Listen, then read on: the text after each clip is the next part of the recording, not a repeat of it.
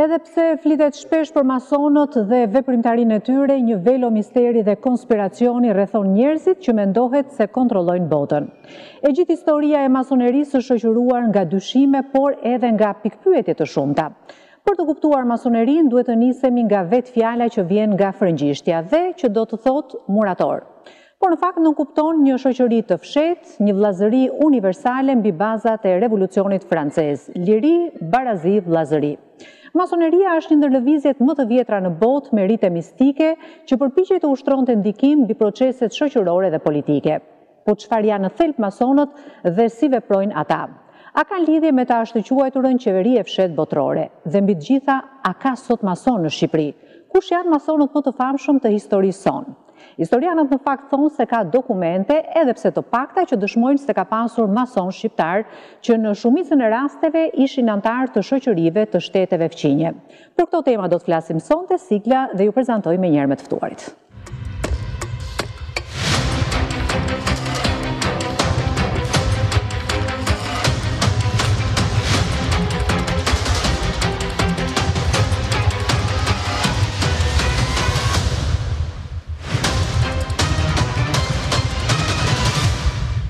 Mirëmbrëma dhe mirë se erdhët të nderuar teleshikues në këtë transmetim të Orës së Betit në Radio Televizionin Ora për të folur për këtë temë interesante. A ka masonë shqiptarë dhe Kush janë ata? Do t'ju prezantoj menjëherë me panelin e të ftuarve. Kam kënaqësinë të kem në studio zotin Rajmond Todhe, ai është inxhinier dhe avokat, por mbi të gjitha mjeshtër i madh i Lozhës së Madhe Iliria.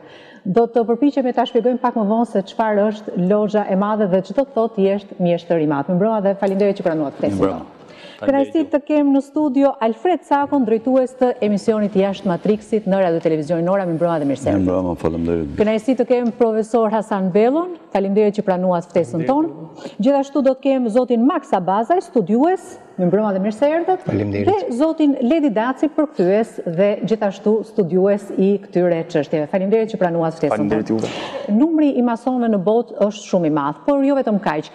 Ka emra shumë të njohur të cilët janë përfshirë në ritin e masonerisë. Por, le të kuptojmë se kush kanë qenë masonët shqiptarë dhe cilët janë ata. Le të ndjekim një material shumë interesant, përgatitur nga gazetarja jonë Ertila Dosti dhe kthehemi sërish në studio.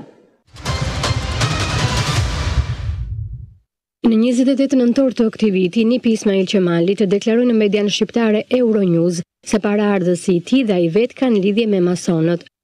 Masoneria konsiderohej operative, në kuptimin që ndërhynte në politikën, qoftë lokale, qoftë ndërkombëtare, ka një historian anglez që thoshte se Ismail Qemali kishte miq nga Bagdadi deri në Skoci dhe këta miq me siguri ishin miq masonë. Kur ka qenë në Budapest, ka mbledhur një sërë miq masonësh dhe i shoqëruar me ta, ka shkuar në Trieste, mbërriti në Durrës dhe kështu me radhë. Dhe në disa fotografi të fëmijëve ka shenja të qarta masone dhe vetë unë jam mason dhe nuk mendoj se është një fakt që duhet fshehur. Ndërkohë studiuesi Hasan Bello shkruan se shekulli tetëmbëdhjetë dhe nëntëmbëdhjetë, për shkak të revolucioneve dhe dekompozimit të strukturave të vjetra shoqërore, për shumë vende europiane dhe vetë Perandorinë Osmane, do të shoqërohet me krijimin e organizatave të fshehta.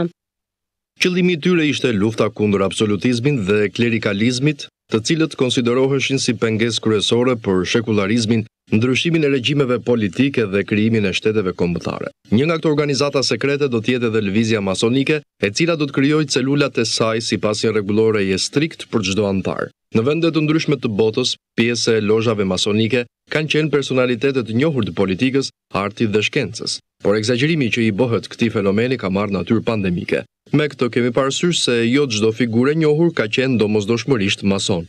Prandaj shkruan studiuesi, nëse merremi me tema kaq sensitive që i përkasin botës së konspiracionit, duhet të bëjmë kujdes. Shqipëria nuk shquhet për intensitet organizatash masonike. Kjo është arsyeja që arkivat e tyre si në disa shtete si Franca dhe Italia mungojnë. Dokumentacioni është i pakët për shkak se masonët shqiptarë, në shumicën e rasteve, ishin anëtarë të shoqërive të shteteve fqinj. Megjithatë, kjo nuk do të thotë se ata nuk kanë ekzistuar tek ne. Pra, ne e dimë se kush janë masonët më të famshëm në botë dhe këtë mund ta zbulojmë fare mirë me një kërkim të thjeshtë në Google. Unë kam gjetur emrat e disave prej tyre, që nga Giordano Bruno, Napoleon Bonaparti, Paganini, Mozarti, Garibaldi, Carlo Collodi, Cako më korrigjon nëse ndonjë prej tyre nuk është i saktë. Buffalo Bill, Frojdi, Qemal Ataturku, Henry Ford, aktorë të njohur si John Wayne, Clark Gable, Toto, në Itali, Oliver Hardy, pastaj Simon Bolivari, Benjamin Franklin, Princi Philip, bashkëshorti i Elizabetës së Dytë, e presidentët amerikanë George Washington, Theodore Roosevelt-i, Franklin Roosevelt, Fordi e të tjerë e të tjerë. Por nuk e dimë me saktësi se kush janë masonët shqiptarë dhe nëse ekzistojnë dokumente pikërisht për ekzistencën e tyre. Profesori Hasan Bello ka zbuluar disa dokumente nga arkivi i shtetit po. dhe ka rezultuar se ka disa figura shumë interesante të historisë sonë, të cilët në fakt kanë qenë masonë. Atëherë, duke u nis nga një dokument që Vatikani i dërgonte arqipeshvit të Shkodrës, Pasquale Guerinit, me 6 shtator 1897-ës, në këtë periudhë në Shqipëri nuk është se ka pasur masone, pra, masonë në, në Shqipëri, pra, Shqipërinë e atëhershme. Mm -hmm. Por, duke nisur që nga fundi i shekullit 19, sigurisht që edhe shqiptarët, të ndikuar nga lozhat masone që ndodheshin në Perandorinë Osmane, fillojnë Një pjesë e tyre aktivizohet pra, pranë këtyre lozhave. Si janë rekrutuar ata? Si janë rekrutuar? Fjala rekrutim është pak e fushës suaj. Atëherë si janë bërë pjesë e tyre, tyre po. lozhave? Atëherë, dy lozhat më të rëndësishme në Perandorinë Osmane, fundshekullit nëntëmbëdhjetë, kanë qenë në Manastir dhe në Selanik. Mhm. Dhe këto dy lozhat masone e Selanikut dhe Manastirit, ndodheshin nën influencën e Gjermanisë dhe Britanisë së Madhe. Pra, lozha masonike e Manastirit, ishte nën influencën Gjermane, politikës Gjermane, ose gjermanofilëve, ndërsa e manastirit e filo-britanikëve, pra lozhës masone filo-britanike. Për sa i përket dokumentacionit, rezulton që Terenc Toçi është një nga masonët e parë, i cili rekrutohet sipas jush ose i bashkohet lozhës masone italiane, nga fundi i viteve 1900, ky njihet me një personalitet italian Felice Albani, i cili kishte krijuar një parti maxhiniane, pra republikane, dhe ky personalitet politik e njeh Terenc Toçin me mjeshtrin e madh të Italisë. Shiko, ju e nisni me Terenc Toçin, po. por është e vërtetë që edhe De Rada ka qenë mason? Sepse kam lexuar herë pas here materiale që e ngrenë këtë pretendim. Ka hipoteza, por derisa nuk kemi dokumenta që konfirmojnë këtë gjë, nuk mhm. mund të themi me saktësi që ka qenë apo nuk ka qenë. Duhet të dimë diçka që në Italinë e atyre viteve masoneria ishte edhe një lloj fryme, sepse mhm. ato sigurisht kanë dhënë një kontribut shumë të rëndësishëm për bashkimin e Italisë dhe krijimin e shtetit modern italian. Pra, Ishte edhe një lloj fryme. Kjo frymë do të reflektohet edhe në Shqipërinë e atyre viteve, por sidomos në vitet 20-30. Pra ajo fryma masone për laicitetin, krijimin e shtetit kombëtar, institucioneve të konsoliduara, juridike etj. Pra më tepër tek ne është reflektuar pastaj në vitet 20-30, ku kemi edhe disa figura shumë interesante, siç janë vëllezërit Ivanaj, dhe kushëri i tyre, pra Mirash Ivanaj, Martin Ivanaj dhe kushëriri i tyre Nikola Ivanaj, të cilët që në periudhën e Rilindjes Kombëtare ose në njëmbëdhjetë dymbëdhjetën do të ndërmarrin një nismë për organizimin e një kryengritjeje të përgjithshme për çlirimin e Shqipërisë nga Perandoria Osmane. Mhm. Madje për këtë gjë ata do të kërkojnë ndihmë lozhës mason lozhës italiane, pra mjeshtrit të madh të Italisë, Ettore Ferrarit, i cili fatkeqësisht do të ndihmojë në fillim për organizimin e një komiteti pro shqiptar, por për shkak se ky kishte lidhje me lozhën masonike të të xhonturqve, Ë? I thotë këtyre që tani nuk është momenti oportun për të ndërmarrë një kryengritje të përgjithshme në Shqipëri. Pra i mbështet pjesërisht, por jo duke i prishur punë xhonturqve, sepse ata mhm. ishin për sa i përket hierarkisë së organizimit masonorisë botërore, ishin më përpara se sa ne. Këtu duhet përmendur një fakt tjetër që një nga themeluesit e Lëvizjes Xhonturke, ose Partisë Bashkim dhe Përparim, ka qenë Ibrahim Temo, një shqiptar nga Struga, i cili së bashku me dy studentë të tjerë turq, do të themelojnë Lëvizjen Xhonturke dhe si model të organizimit të kësaj partie dhe lëvizjes ata do të marrin lozhën masonike italiane, madje do të shkojnë edhe vetë në Itali dhe vetë lëvizja Xhonturke fillimisht do të organizohet në sistem tresh, pra me celula ose po, me celula të vogla treshe me kode sipas organizimit të lozhave masonike të Italisë etj. Atëherë, nga shkrimet e shumta lidhur me këtë çështje, sepse sa më konspiracion të ketë ideja, po. aq më shumë shkrime bëhen, rezulton që ka disa emra të njohur. Ca ku ke përmendur Sevasti Qiriazin, pastaj përmendet Koto Hoxhi, vëllezërit Frashëri, Naim dhe Sami, Mitat Frashëri, Vaso Pasha, Hoxha Tahsini, Madje edhe Lasgush Poradeci, Konica apo Petro Nini. Kanë qenë këta masonë të mirëfilltë? Po nuk ka ndonjë dokument shumë të hollësishëm, domethënë që t'i tregojë këto gjëra, por nga aktiviteti i tyre në këtë periudhë ka pasur një organizim, domethënë konspirativ për të përmbysur këtë dinastinë e Osmanëve. Dhe shqiptarët u përfshinë, siç e tha dhe profesori, u përfshinë në këto sipërmarrje që ishin sa masonike aq dhe politike, mhm. sepse pati një problem gjatë kësaj periudhe, bota hyri në revolucionin e dytë industrial. Do po kaloheshe pra nga shfrytëzimi i qymyrit si energji për transportin në naftën. dhe nafta më shumë ishte zbuluar në Lindjen e Mesme dhe në Baku. Këto zona kanë qenë në sundimin kryesisht të osmanëve, por dhe të rusëve të cilët kishin dhe Bakun. Dhe me rusët hynë në marrëdhënie ata që shfrytëzuan, që ka qenë dinastia Rothschild në fillim, një nga vëllezërit Rothschildët e Francës, Kurse për të marrë naftën në Lindjen e Mesme, sulltani kishte disa ligje që ndalonte investime, ndalonte kohën e gjatë të qëndrimit brenda territorit, periudhat e gjatë aty, periudhat e shpeshta të hyrjeve, domethënë duhet të hynin me vizë dhe nuk kishin të drejtë të blinin imobilare të patundshme të huajt. Dhe për këto ka treguar vetë Sulltan Abdylhamiti në vitin një mijë e nëntëqind e dy kujtimet nga takimet me Lordin Rothschild, Ne kemi parë dhe filmin që është shumë informativ, filmi Sulltan Abdylhamiti, i cili është realizuar për hir së vërtetës me buxhet të vogël, po ka një informacion të madh dhe në përgjithësi në dijeninë e atyre që unë di, gjërat janë shumë të sakta dhe janë dhënë me një transparencë të madhe, ndoshta një nga filmat që ka shqetësuar shumë masonerinë në botë dhe sidomos dinastinë Rothschild, i ka shqetësuar shumë ai film, i cili është shitur dhe është transmetuar në shumë vende të botës të cilat... E ka shqetësuar për çfarë fakti, sepse zbulon po, më shumë se ç'duhet, apo të tregon po, gjërat për të vërteta? E ka përfshirë masonerinë në veprime shumë komprometuese, politike dhe në shërbim të bankierëve. Mhm. Kjo është arsyeja pëse masonët nuk e kanë dashur këtë film dhe e kanë anatemuar dhe bankierët. Si? Cilin, cilin film, për cilin film bëhet fjalë? Për Sultan, Sultan Abdulhamidin, Abdulhamidin. Po. qyteti. Po. Dhe aty madje anatemohet shumë edhe një nga figurat më të ndritura në historinë e ezoterizmit që është Madame Helena Blavatsky, e cila Domethënë nga shumë njerëz mbahet si një burim drite i madh me librat të cilat unë i kam botuar, siç është Doktrina Sekrete, siç është Çelësi i Teozofisë, i ka përkthyer Ledi Doktrinën Sekrete dhe ka disa të pavërteta aty në atë film për mendimin tim, disa të pavërteta.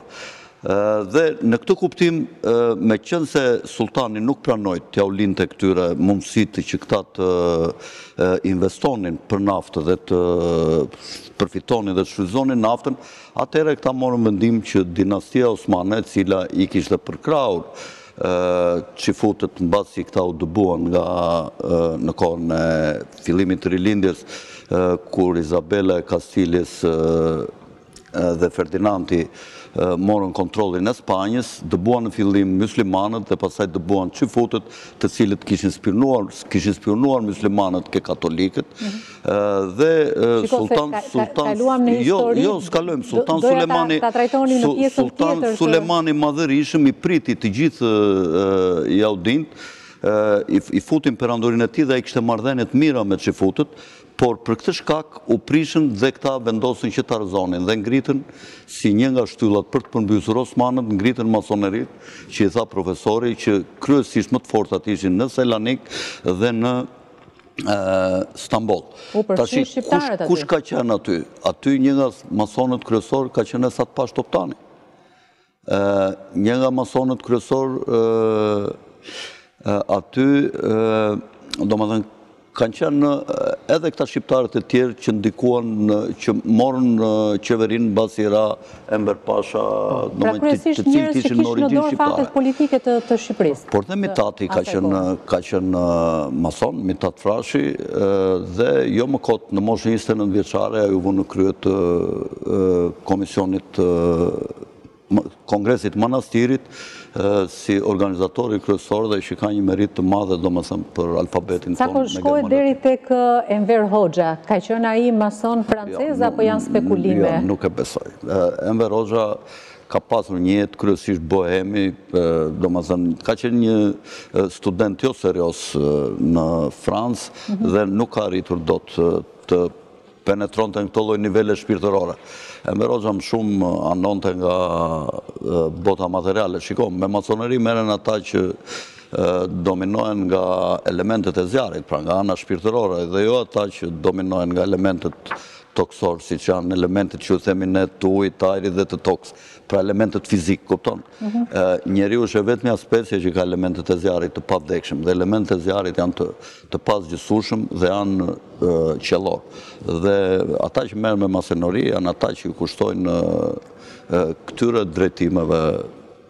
Tani, studiuesja Urontare thotë se ka hasur në një dokument anglez ku Ismail Qemali përmendej si pjesë e Lozhës së Orientit. Këtë e ka thënë edhe nipi i Ismail Qemalit, Nedim Vlora dhe mendohet se ishte i përkiste Lozhës së Progresit të Stambollit ku ishin të regjistruar edhe sulltani dhe elita administrative e perandorisë. Po ndërkaq ka dhe një fakt tjetër interesant që në 28 nëntor të këtij viti, pra pak javë më parë, kur u festua pavarësia e Shqipërisë, pikërisht në monumentin e Ismail Qemalit, të cilin po e shohim edhe në ekran, u shfaq një u shfaq një një kurorë me lule me një mbishkrim interesant Sa se i përkiste ajo kurorë lozhës shqiptare, zoti Todhe dua t'ju pyes, ekziston lozha shqiptare, ju jeni përfaqësuesi i saj me titullin Mjeshtër i Madh, në fakt është hera e parë që që njoh një mjeshtër të madh dhe do dija çfarë është kjo kjo lozhë shqiptare dhe e keni dërguar ju atë kurorë lulesh? Jo. Nëse më lejo, duhet të them diçka paraprakisht lidhur me aktivitetin e shqiptarëve në masoneri në periudhën e Perandorisë Turke.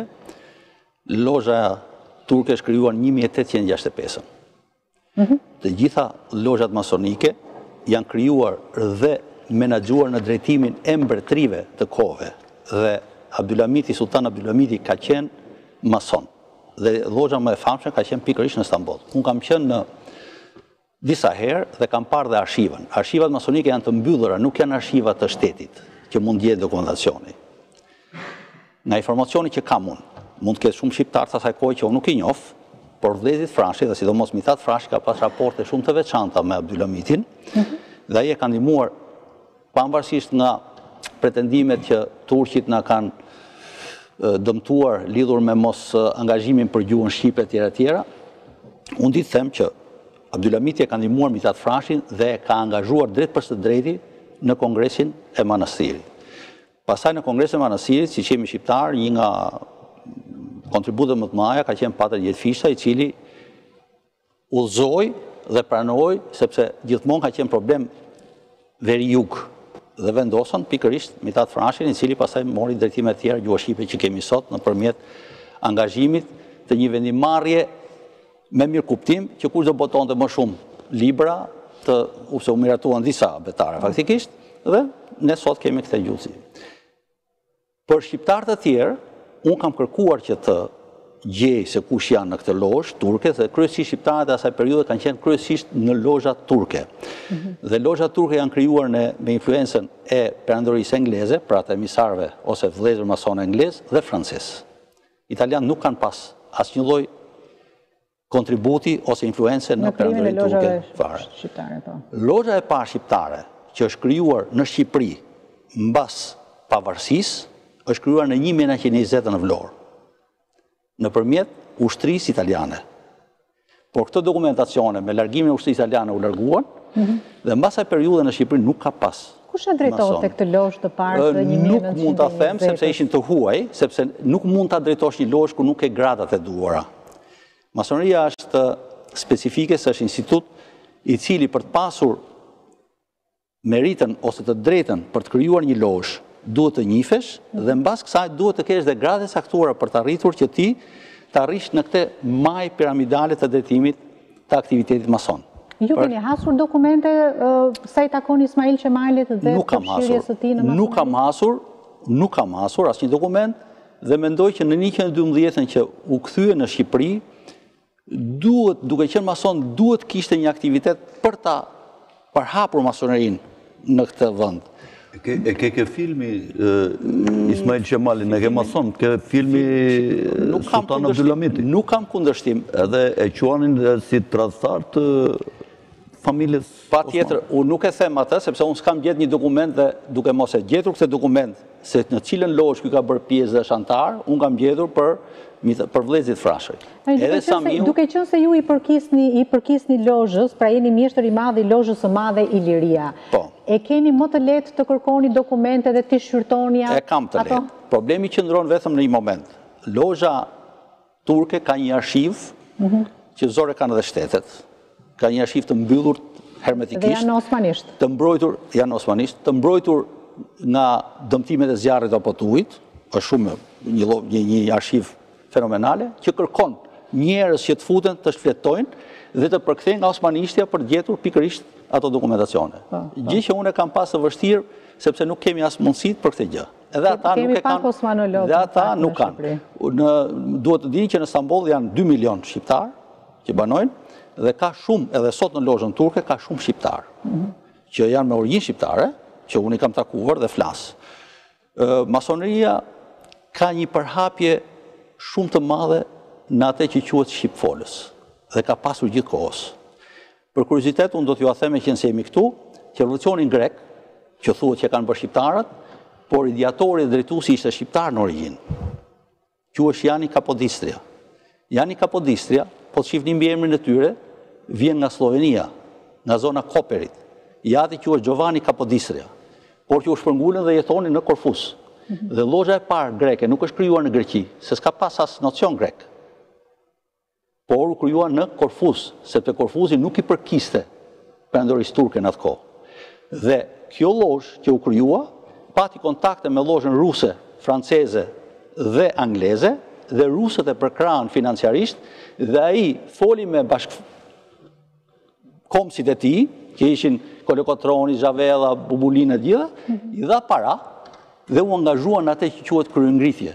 Dhe edhe kjo kryengritje do të kishte dështuar nëse nuk do të kishin ardhur flotat ruse, angleze e franceze që të mbysnin flotën e Aliut dhe pastaj të bëhesh ajo marrëveshje e famshme e paqes dhe Kolokotroni vjen nga një familje e Lekë Dukagjinit. Në historinë, po ta shihim me kujdes, Lek Dukagjini mbas vdekjes së Skënderbeut bleu kështjellën e Koperit. Në këtë kështjellë të Koperit kanë dalë disa pinjollë nga kjo familje e Lek Dukagjinit, një nga të cilët është e ky. Mhm. Kjo është një histori që duhet ta them që shqiptarët kanë dhënë një angazhim shumë të madh, shqiptarët kanë qenë për masonerinë dhe sot që po flasim bëjmë pjesë në lozhat serbe Mund të jenë serbë, po vijnë edhe më takojnë e më thonë shiko se me origjinë jemi shqiptarë dhe mua më bëhet qefi, bëjmë pjesë në lozhat maqedonase, bëjmë pjesë në lozhat greke, bëjmë pjesë dhe janë forca kryesore vitale në lozhën italiane. Arbëreshët janë një nga pjesët më vitale të mbështetjes. E, e konfirmoni atë që pyeta pak më parë për De Radën?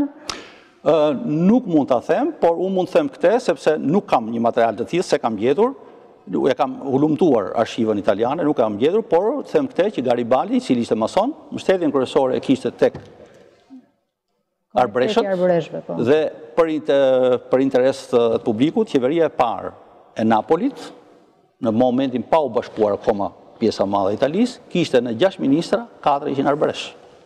Këto i kam parë dhe janë në origjinë. Po. Në kontekstin historik, duhet të bëj dy saktësime të vogla.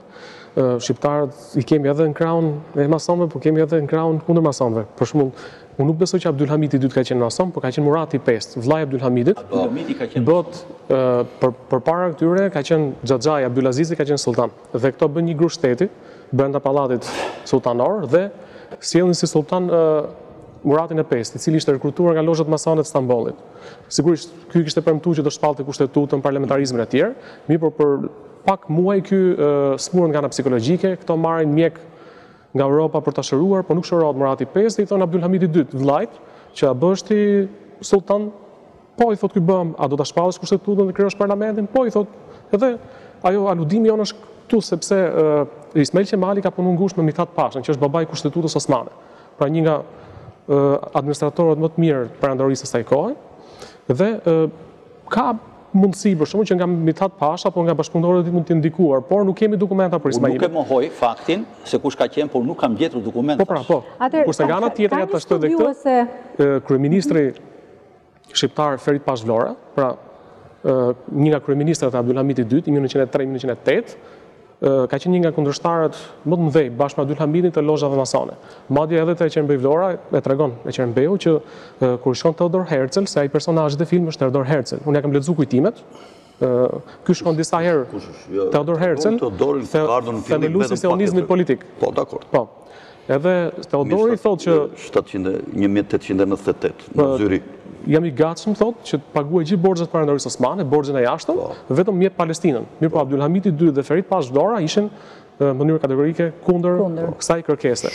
Ndërsa lozha e parë pastaj, sipas dokumentave që ju ndoshta mund të keni shfaqur në monitor, ose më vonë, në Shqipëri krijohet në 14-ën, ose të paktën ka lëvizje për t'u krijuar në 14-ën. Me Ismailin, ishin të në Po, patjetër, patjetër. Jo, e kështë gjëtë gjëtë. Ka një studiuese në fakt, një studiuese hungareze, që quhet Sofia Turotski, dhe ajo ka mbajtur një kumtesë me titullin Masonët Shqiptarë në Perandorinë Osmane. Ajo është marrë me dy figura të rëndësishme të historisë tonë me Ismail Qemalin si pjesë e masonerisë dhe gjithashtu me Ibrahim Temon. Ju, profesor, shkruani se Ibrahim Temo, një nga themeluesit e lëvizjes xhonturke, që ishte nga Struga, në librin me kujtime tregon se si model i organizatës politike, që më vonë merr emrin bashkim dhe përparim, shërbejnë lozhat italiane. Po, po, edhe këta shkuan në Itali, marrin eksperiencë. Ka dhe studime për këtë. Shkuan marrin eksperiencë në Itali si ishin organizu lozhat masone dhe sekaj diçka. Në këtë periudhë, apo dhe më vonë, kryesisht kisha katolike, pra Vatikani është përpjek t'i demonizojë masonët, pra t'i paraqesë si njerëz që antifetar, anti-njerëzor, anti-human, por në atë periudhë, masoneria ka qenë një lloj mode, siç është sot një veshje apo diçka tjetër, në Fund të shekullit nëntëmbëdhjetë, fillim të shekullit njëzet, masoneria ishte një lloj mode për intelektualët, inteligjencën, sidomos për njerëzit që ishin patriotë dhe kërkonin, krijonin, të përmbysnin pra këto perandoritë multietnike, ku e di unë, edhe të krijonin shtetet kombëtare. Pra ishte një lloj mode dhe prandaj për lëvizjen kombëtare shqiptare dhe për shqiptarët ishte shumë atraktive. Madje, ne mund ta trajtojmë edhe më pas, shqiptarët janë përpjek t'i shfrytëzojnë lozhat masone, disa herë. Për shembull Terenc Toçi, ne e përmendëm, bën lobing, duke qenë edhe vetë mason, që Pra Lozha Masonike e Italisë të mbështesi kryengritjen e përgjithshme shqiptare në njëmbëdhjetën, pra krijon edhe Komitetin Pro Albania, pro Shqipërisë, por për arsyet që unë i përmenda, meqë këta kishin miqësi me Lozhën Masone të Orientit, pra të, të xhonturqve, nuk është se i dhanë mbështetjen e duhur. Ndërsa në vitet 20-30 ë sidomos kundërshtarët politik të Ahmet Zogut, po dhe vetë mbreti Zog, është përpjekur që lozhët masone t'i shfrytëzojnë, në ç'kuptim. Reformën e arsimit në 33-shin e bën me Mirash Ivanaj, me ministrin e arsimit, i cili në vitet 20, 25, 26 ka një gazetë, Republika, që është një gazetë shumë e rëndësishme për përhapjen e ideve laike, pra për sekularizimin, sekularizimin e institucioneve shtetërore dhe sidomos arsimit. Nga ana tjetër, kundërshtarët politikë të Ahmet Zogut shkojnë në Turqi dhe përpiqen që lozhat masone të Turqisë t'i përdorin për të rrëzuar Ahmet Zogun. Kurse Zogu vetë, nga ana tjetër, këto lozhat masone të Turqisë t'i përdori në funksion të parandalimit të shpërnguljes së popullsisë shqiptare të Kosovës në Turqi. Sepse Jugosllavia në atë kohë ndiqte këtë politikën e... E shpopullimit. Po, po. Po, në 38-ën është konventa turko-jugosllave, por Zogu i përpiqej të shfrytëzonte lozhat masone që kishin influencë te Ataturku për të parandalu largimin e shqiptarëve, ndërsa këta përpiqeshin me rrëzu Zogun. Pra shqiptarët janë përpjekë që edhe duke qenë mason, po edhe jashtë tyre lozhave masonike, mhm. t'i përdorin masonët në funksion të interesave të tyre kombëtare. Po, ja dhe zonja Basha, po. në fakt çfarë roli ka luajtur masoneria dhe këta pjesëtarë të ndritur, sikurse i përmendëm këtu, në çështjen kombëtare, por edhe në zhvillimet politike në vend, gjatë këtyre viteve? Shiko, ka një fakt që jo vetëm në Shqipëri, mhm. po në gjithë botën, ka një fakt që figura të shquara në shumë fusha të jetës, i përkasin masonerisë. Pra, është një fakt që duhet bërë një krahasim edhe me çka ndodhur këtu ke ne. Unë dokumenta të tilla siç thonë zotërit, nuk kam pas mundësinë të shikoj, natyrisht sepse këto kanë qenë mundësitë apo siç tha dhe profesori por nuk e përjashtoj mundësinë që figura të shquara të historisë shqiptare të kenë bërë pjesë në radhët e masonerisë.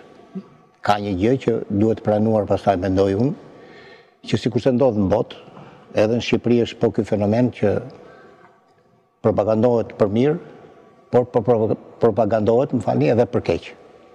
Pa argument. Ky është problemi, sepse flitet pa argument. Aktualisht tashi ka një opinion në masë, sikur mbas çdo të keqeje, Fshihen masonët. Fshihen masonët. Do ta diskutojmë pak më vonë. Fshihen masonët. Do ta diskutojmë pak më vonë këtë anën tjetër të masonerisë, teoritë e konspiracionit, pikërisht, aktivitetin e tyre dhe pse shihen me kaq skepticizëm po, nga njerëzit po duan. Mund bëjmë edhe një krahasim të tillë. Ka një shprehje popullore që pema që ka kokrra gjuhet. Kjo mund të jetë edhe kjo që prandaj dhe sulm. Masoneria një pemë me shumë kokrra. A duhet të të çka ndodhi me masonerinë, përderisa deri në 45-ën njihen në Shqipëri këto lëvizjet masone me këto figura të ndritura? Çfarë ndodh nga 45-a deri në 90-ën? Ka informacione? Mendoj se ka qenë një periudhë e errët për masonerinë, duke qenë se pushteti komunist i centralizoi të gjitha pushtetet dhe nuk lejoi zhvillimin e celulave të tilla. Mhm. Besoj që ka qenë një periudhë e errët për masonerinë shqiptare. Pra 25 vite e vështirë shkëputje të gjitha fijeve në masonerinë botërore? Për mendimin tim, ka vrarë dy masonë që në fillim sapo mori pushtetin, një nga këta Xhevat Korça, i cili është një njeri shumë i rëndësishëm në historinë e Shqipërisë, ka qenë underground, është personi që ka sjellë, po të lexosh kujtimet e Sefi Vllamasit, ai, domethënë duhet ta lexosh mirë nënrreshta, se ça fuqie ka patur Xhevat Korça, është personi, thotë Sefiu, që ka përcjellë Avni Rustemin për të vrarë, Një mason që vetë masonët e kishin dënuar me vdekje, pra siç ishte Esat Pasha. Dhe është e çuditshme se dy nga masonët që ndikuan në aq fuqishëm dhe aq vrullshëm në historinë e Shqipërisë, njëri u helmua Ismail Qemali dhe tjetri u vra Esat Pasha. Pra, qënia mason nuk të jep imunitet kur përfshihesh në politikë dhe nuk ke të garantuar imunitet në qoftë se del nga ato shina dhe linjat kryesore të interesave.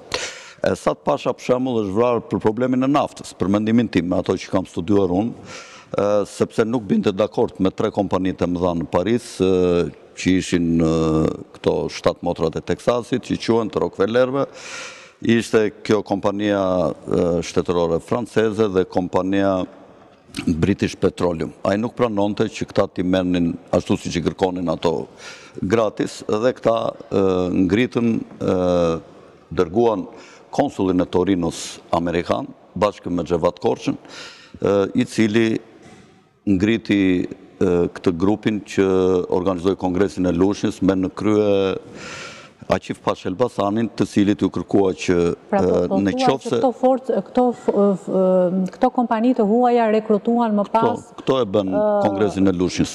Këto financuan... Po, ato paguan Avni Rustemin dhe kur është qëlluar, Esat Pasha ka ngrënë dhe një plumb nga mbrapa nga... Në momentin që është qëlluar nga Avni Rustemi, është qëlluar dhe nga mbrapa nga shërbimet sekrete franceze për ta eliminuar dhe për të qenë të sigurt që do vritesh. Esat Pasha nuk ka vetëm plumbat e Avni Rustemit, po ka dhe plumba të tjerë nga mbrapa që është qëlluar.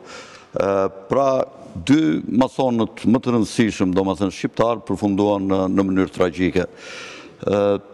Tjetër ka qenë Terenc Toçi, të cilin Enver Hoxha e mbyti në fuçi me ujë, i cili ka qenë një nga masonët që, shiko, unë nisa që pari, kur filloi masoneria të luftonte pushtetin e Sultan Abdylhamitit me urdhër të bankierëve, masoneria turke, Filloi ta luftonte nga të gjitha anët masoneria. Masoneria serbe hyri me Cërna Rukën dhe në Malin e Zi që ishte masoneria serbe, që organizuan dhe vrasjen e Franc Ferdinandit, këta e organizuan që hapën luftën e parë botërore. Lufta e parë botërore u hap nga bankierët me ndihmën e masonerisë për të bërë revolucionin e dytë industrial, për të larguar qymyrin dhe për të futur naftën. Unë kam bërë një emision, te Jashtë Matriksit, vetëm për këtë çështje, dhe nga karbonarasit, nga masoneria italiane, u dërgua Terenc Toçi, që të destabilizoheshe perandoria osmane në të gjitha qelizat e saj të mundshme. Dhe Terenc Toçi erdhi ishte në krye të këtyre.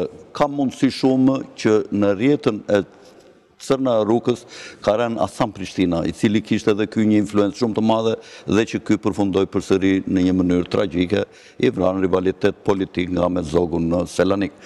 Dhe në masoneri kanë qenë të përfshira ndoshta në rast Të rrallë në botë, dy femra, njëra është përfshirë, është nga motrat Qiriazi, është përfshirë në mos gaboj Sevastia, e cila themeloi në Uster, masonerinë e parë të femrave që quhet Ylli i Mëngjesit. Si drejtuse e këtij Ylli të Mëngjesit, kjo ka bërë takim dhe është paraqitur përpara presidentit Wilson, para se ai të vinte në Evropë, Në krye të asaj që quhet CFR, Council on Foreign Relations, ishte ky grup masonik i cili i dha ato 13 pikat Wilsonit dhe në fakt nuk e ka drejtuar Wilsoni siç mund ta dinë historianët grupin që ai dilte dhe ishte një zëdhënës, po ka qenë mbrapa tij një që quheshe koloneli Eduard Haus, i cili ishte mason grada tridhjetë e tre dhe që i ka dhënë trembëdhjetë pikat se si do të organizohej bota pas Luftës së Parë Botërore sipas konceptit masonik në tetëmbëdhjetë, nëntëmbëdhjetë, njëzetën në konferencën e paqes. Jo katërmbëdhjetë pikat, se tha trembëdhjetë. Katërmbëdhjetë sa janë. S'ka rëndësi, për t'ju kthyer sërish dyzet e pesë nëntëdhjetës, nuk ka asnjë informacion? Po organizata masone më e fuqishme se Partia Komuniste Shqiptare. Si mund të lejonte ajo? Jo, vetëm thonjëza se nuk vetëm një fjalë ka përmendur Enver Hoxha, dyzet e pesë vjet, vetëm një fjalë ta mbyll. Më fal se e mora për dytë. Vetëm një fjalë ka përmendur njëherë, ndoshta në vitet shtatëdhjetë e katër a shtatëdhjetë e pesë në dijeninë time, në ato që kam lexuar, ka thënë për dikë që e vizitoi, ka thënë ky ishte dhe mason. Po pa bërë asnjë koment negativ ose pozitiv. Pra Enver Hoxha nuk ngatërroheshe me, nuk kishte dëshirë të kishte punë me masonët. Po për grevën e urisë që bëri Xhevat Korça dhe që i vajti Mehmet Shehu me urdhër të Enver Hoxhës për ta ndaluar që ai të mos bënte grevë urie, Mehmeti thonë që i ka folur shumë t'ia kthente mendjen duke i thënë që shumë shpejt do të nxjerrim nga burgu sepse Enver Hoxha nuk deshte që të kruheshe me Xhevatin sepse e kishte dyfish konfliktin përveç me amerikanët pastaj e kishte dhe me masonerinë Dhe me historinë, se Xhevati ka lojtur rol të madh, ai e organizoi kongresin e Lushnjës. Xhevat Korça, bashkë me një britanik dhe konsullin amerikan të Torinos. Ky britanik u plagos në Mamuras, e plagos po. bashkë me atë zëvendëskryeministrin që ka qenë i qeverisë së Vlorës. Domethënë, këta organizuan dhe vrasjen e Esatit. Po, zoti Tove? Unë do të thosha që masoneria ka dy parime kryesore, të cilat janë të panegociueshme. Është liria e plotë e ndërgjegjes apo e mendimit dhe e dyta është toleranca absolute, të cilat janë dy parime të kultivuara gjatë gjithë historisë dhe vijnë shumë, jo për ta, nuk janë të, unë mendoj që nuk janë tokësore. Për arsye se masoneria në civilizimin tonë vjen ke sumerët. Ku një i ardhur që pretendohet, i cili mund ta gjeni në të gjitha, quhet Giglamesh, dhe këtu u vëllazërua me një nga tokësorat, dhe në një betejë që ky tokësori vdiq, Giglameshi i kërkoi që ta ngjallte, gjë që nuk mund të ndodhte. Kanë bërë dhe në Hollywood një film të tillë për Horusin e Osirisin. Dhe Në momentin që nuk e ngjallën dot, ky tha më bëj dhe mua si ai të vdekshëm. Dhe kjo tregon atë vllazërimin që ka arritur dhe imagjinoni që civilizimi jonë ka kaluar në periudha dhe të errëta, siç ishin periudha e mesjetës, në një kohë kur Sumeria ishte, ose sumerët dhe babilonasit më vonë, kishin qytetërim shumë të lakmushëm. Mhm. E vetmja trashëgimi që erdhi pastaj nga këto dy kultura ishte Egjipti. Dhe gjithçka që sot funksionon në mënyrën e ndërtimit të perandorive, në mënyrën e ndërtimit dhe funksionimit të institucioneve, të demokracisë, gjithçka vjen nga Egjipti. Dhe krijuesit që na kanë krijuar dhe unë mendoj që na kanë krijuar dhe janë tre dhe prandaj quhet Trinity dhe në të gjitha historinë e njerëzimit është Trinitia mhm. dhe ne kemi pjesë nga tre krijues në gjenezën tonë apo në ADN-n tonë kanë dhënë edhe japin vazhdimisht kontaktin Ne jemi pjesë materiale, por kemi edhe një pjesë shpirtërore dhe kemi dhe marrim energji. Ne në çdo moment marrim energji. Mirë, ju ju e shpjeguat paksa se çfarë janë masonët, por le të ndjekim edhe një material. Nëse mund të them për lidhur me me periudhën 45-90, një sekondë. Atëherë do t'i kthehemi, do t'i kthehemi kësaj periudhe të rëndësishme të historisë shqiptare, ndjekim pak një material përgatitur nga Nertila Dosti se çfarë janë masonët. Kthehemi pas pak. Si shoqëria më e vjetër në botë, frimasonët janë të angazhuar në rituale dhe rite që thuhet se datojnë që me ndërtimin e Tempullit të Solomonit dhe vrasjen e kryearkitektit të saj, Hiram Abifit. Mjetet e lashta të zakonshme të përdorura në ndërtim, të cilat janë të pranishme në ceremonitë masonike, Mistria, plumbçja niveluesi dhe kompasi kanë një kuptim simbolik që është i lidhur me zhvillimin e moralit dhe përparimin e anëtarëve në njohjen e dritës universale. Megjithëse frimasonët janë të merakosur për ruajtjen e sekretit të këtyre ritualeve, ata e hedhin poshtë besimin popullor se masoneria është një organizatë e kobshme. Ata kurrsesi nuk pranojnë pretendimet për një konspiracion masonik për të kontrolluar Shtetet e Bashkuara dhe të gjithë botën. Masonët kundërpërgjigjen se janë thjesht idealistë të bashkuar për të studiuar dhe celebruar besimet e përbashkëta të moralit dhe përmirësimin individual. Çka nuk vihet në dyshim është fakti se ekziston një numër i habitshëm njerëzish të rëndësishëm gjatë gjithë historisë së Evropës dhe Shteteve të Bashkuara, që në të gjitha fushat e përvojës njerëzore kanë qenë frimasonë. Nga mbretër, presidentë dhe politikanë, te manjatë industrie, shkrimtarë, kompozitorë, gjeneralë, doktorë, gazetarë dhe liderë të tjerë të kulturës, shoqërisë dhe qytetarisë, pyetja e vazhdueshme provokative që nga lindja e frimasonerisë është nëse këta njerëz ishin të angazhuar në një konspiracion në mënyrë që t'i përdornin dogmat e frimasonerisë për një rend të ri botëror. Disa kritikë kanë shkuar aq larg, saqë pretendojnë se tashmë frimasonët udhëheqin kudo. Origjinat e vëllazërisë janë të debatueshme dhe prej vetë masonëve. Disa kthehen mbrapa në kohë dhe gjejnë gjurmë qysh në ndërtimin e Tempullit të Solomonit dhe madje më herët se në botën e lashtë të Greqisë dhe Egjiptit. Njihet fakti se më një mijë e shtatëqind e shtatëmbëdhjetën disa masonë u takuan në Londër për të formuar të parën lozhë të madhe të bashkuar të Anglisë, si një forcë qeverisëse mbi grupet e gurgdhendësve në Britani. Kur Perandoria Britanike u shtri në kolonitë amerikane, Frimasoneria i shkoi nga pas. Disa nga etërit themelues ishin masonë. Disa studiues të Frimasonerisë vazhdojnë më tej duke thënë se Frimasoneria ishte zemra e Revolucionit Amerikan dhe ajo do të bëhej guri i themelit të Qeverisë së Shteteve të Bashkuara. Që prej Xhorxh Uashingtonit, nga radhët e saj, kanë dalë një numër presidentësh si dhe anëtarësh të Kongresit. Në llogaritjen e përgjithshme botërore të anëtarësisë frimasone me rreth pesë pikë nëntë milionë masonë, pjesa më e madhe e tyre, rreth katër milionë, janë amerikanë.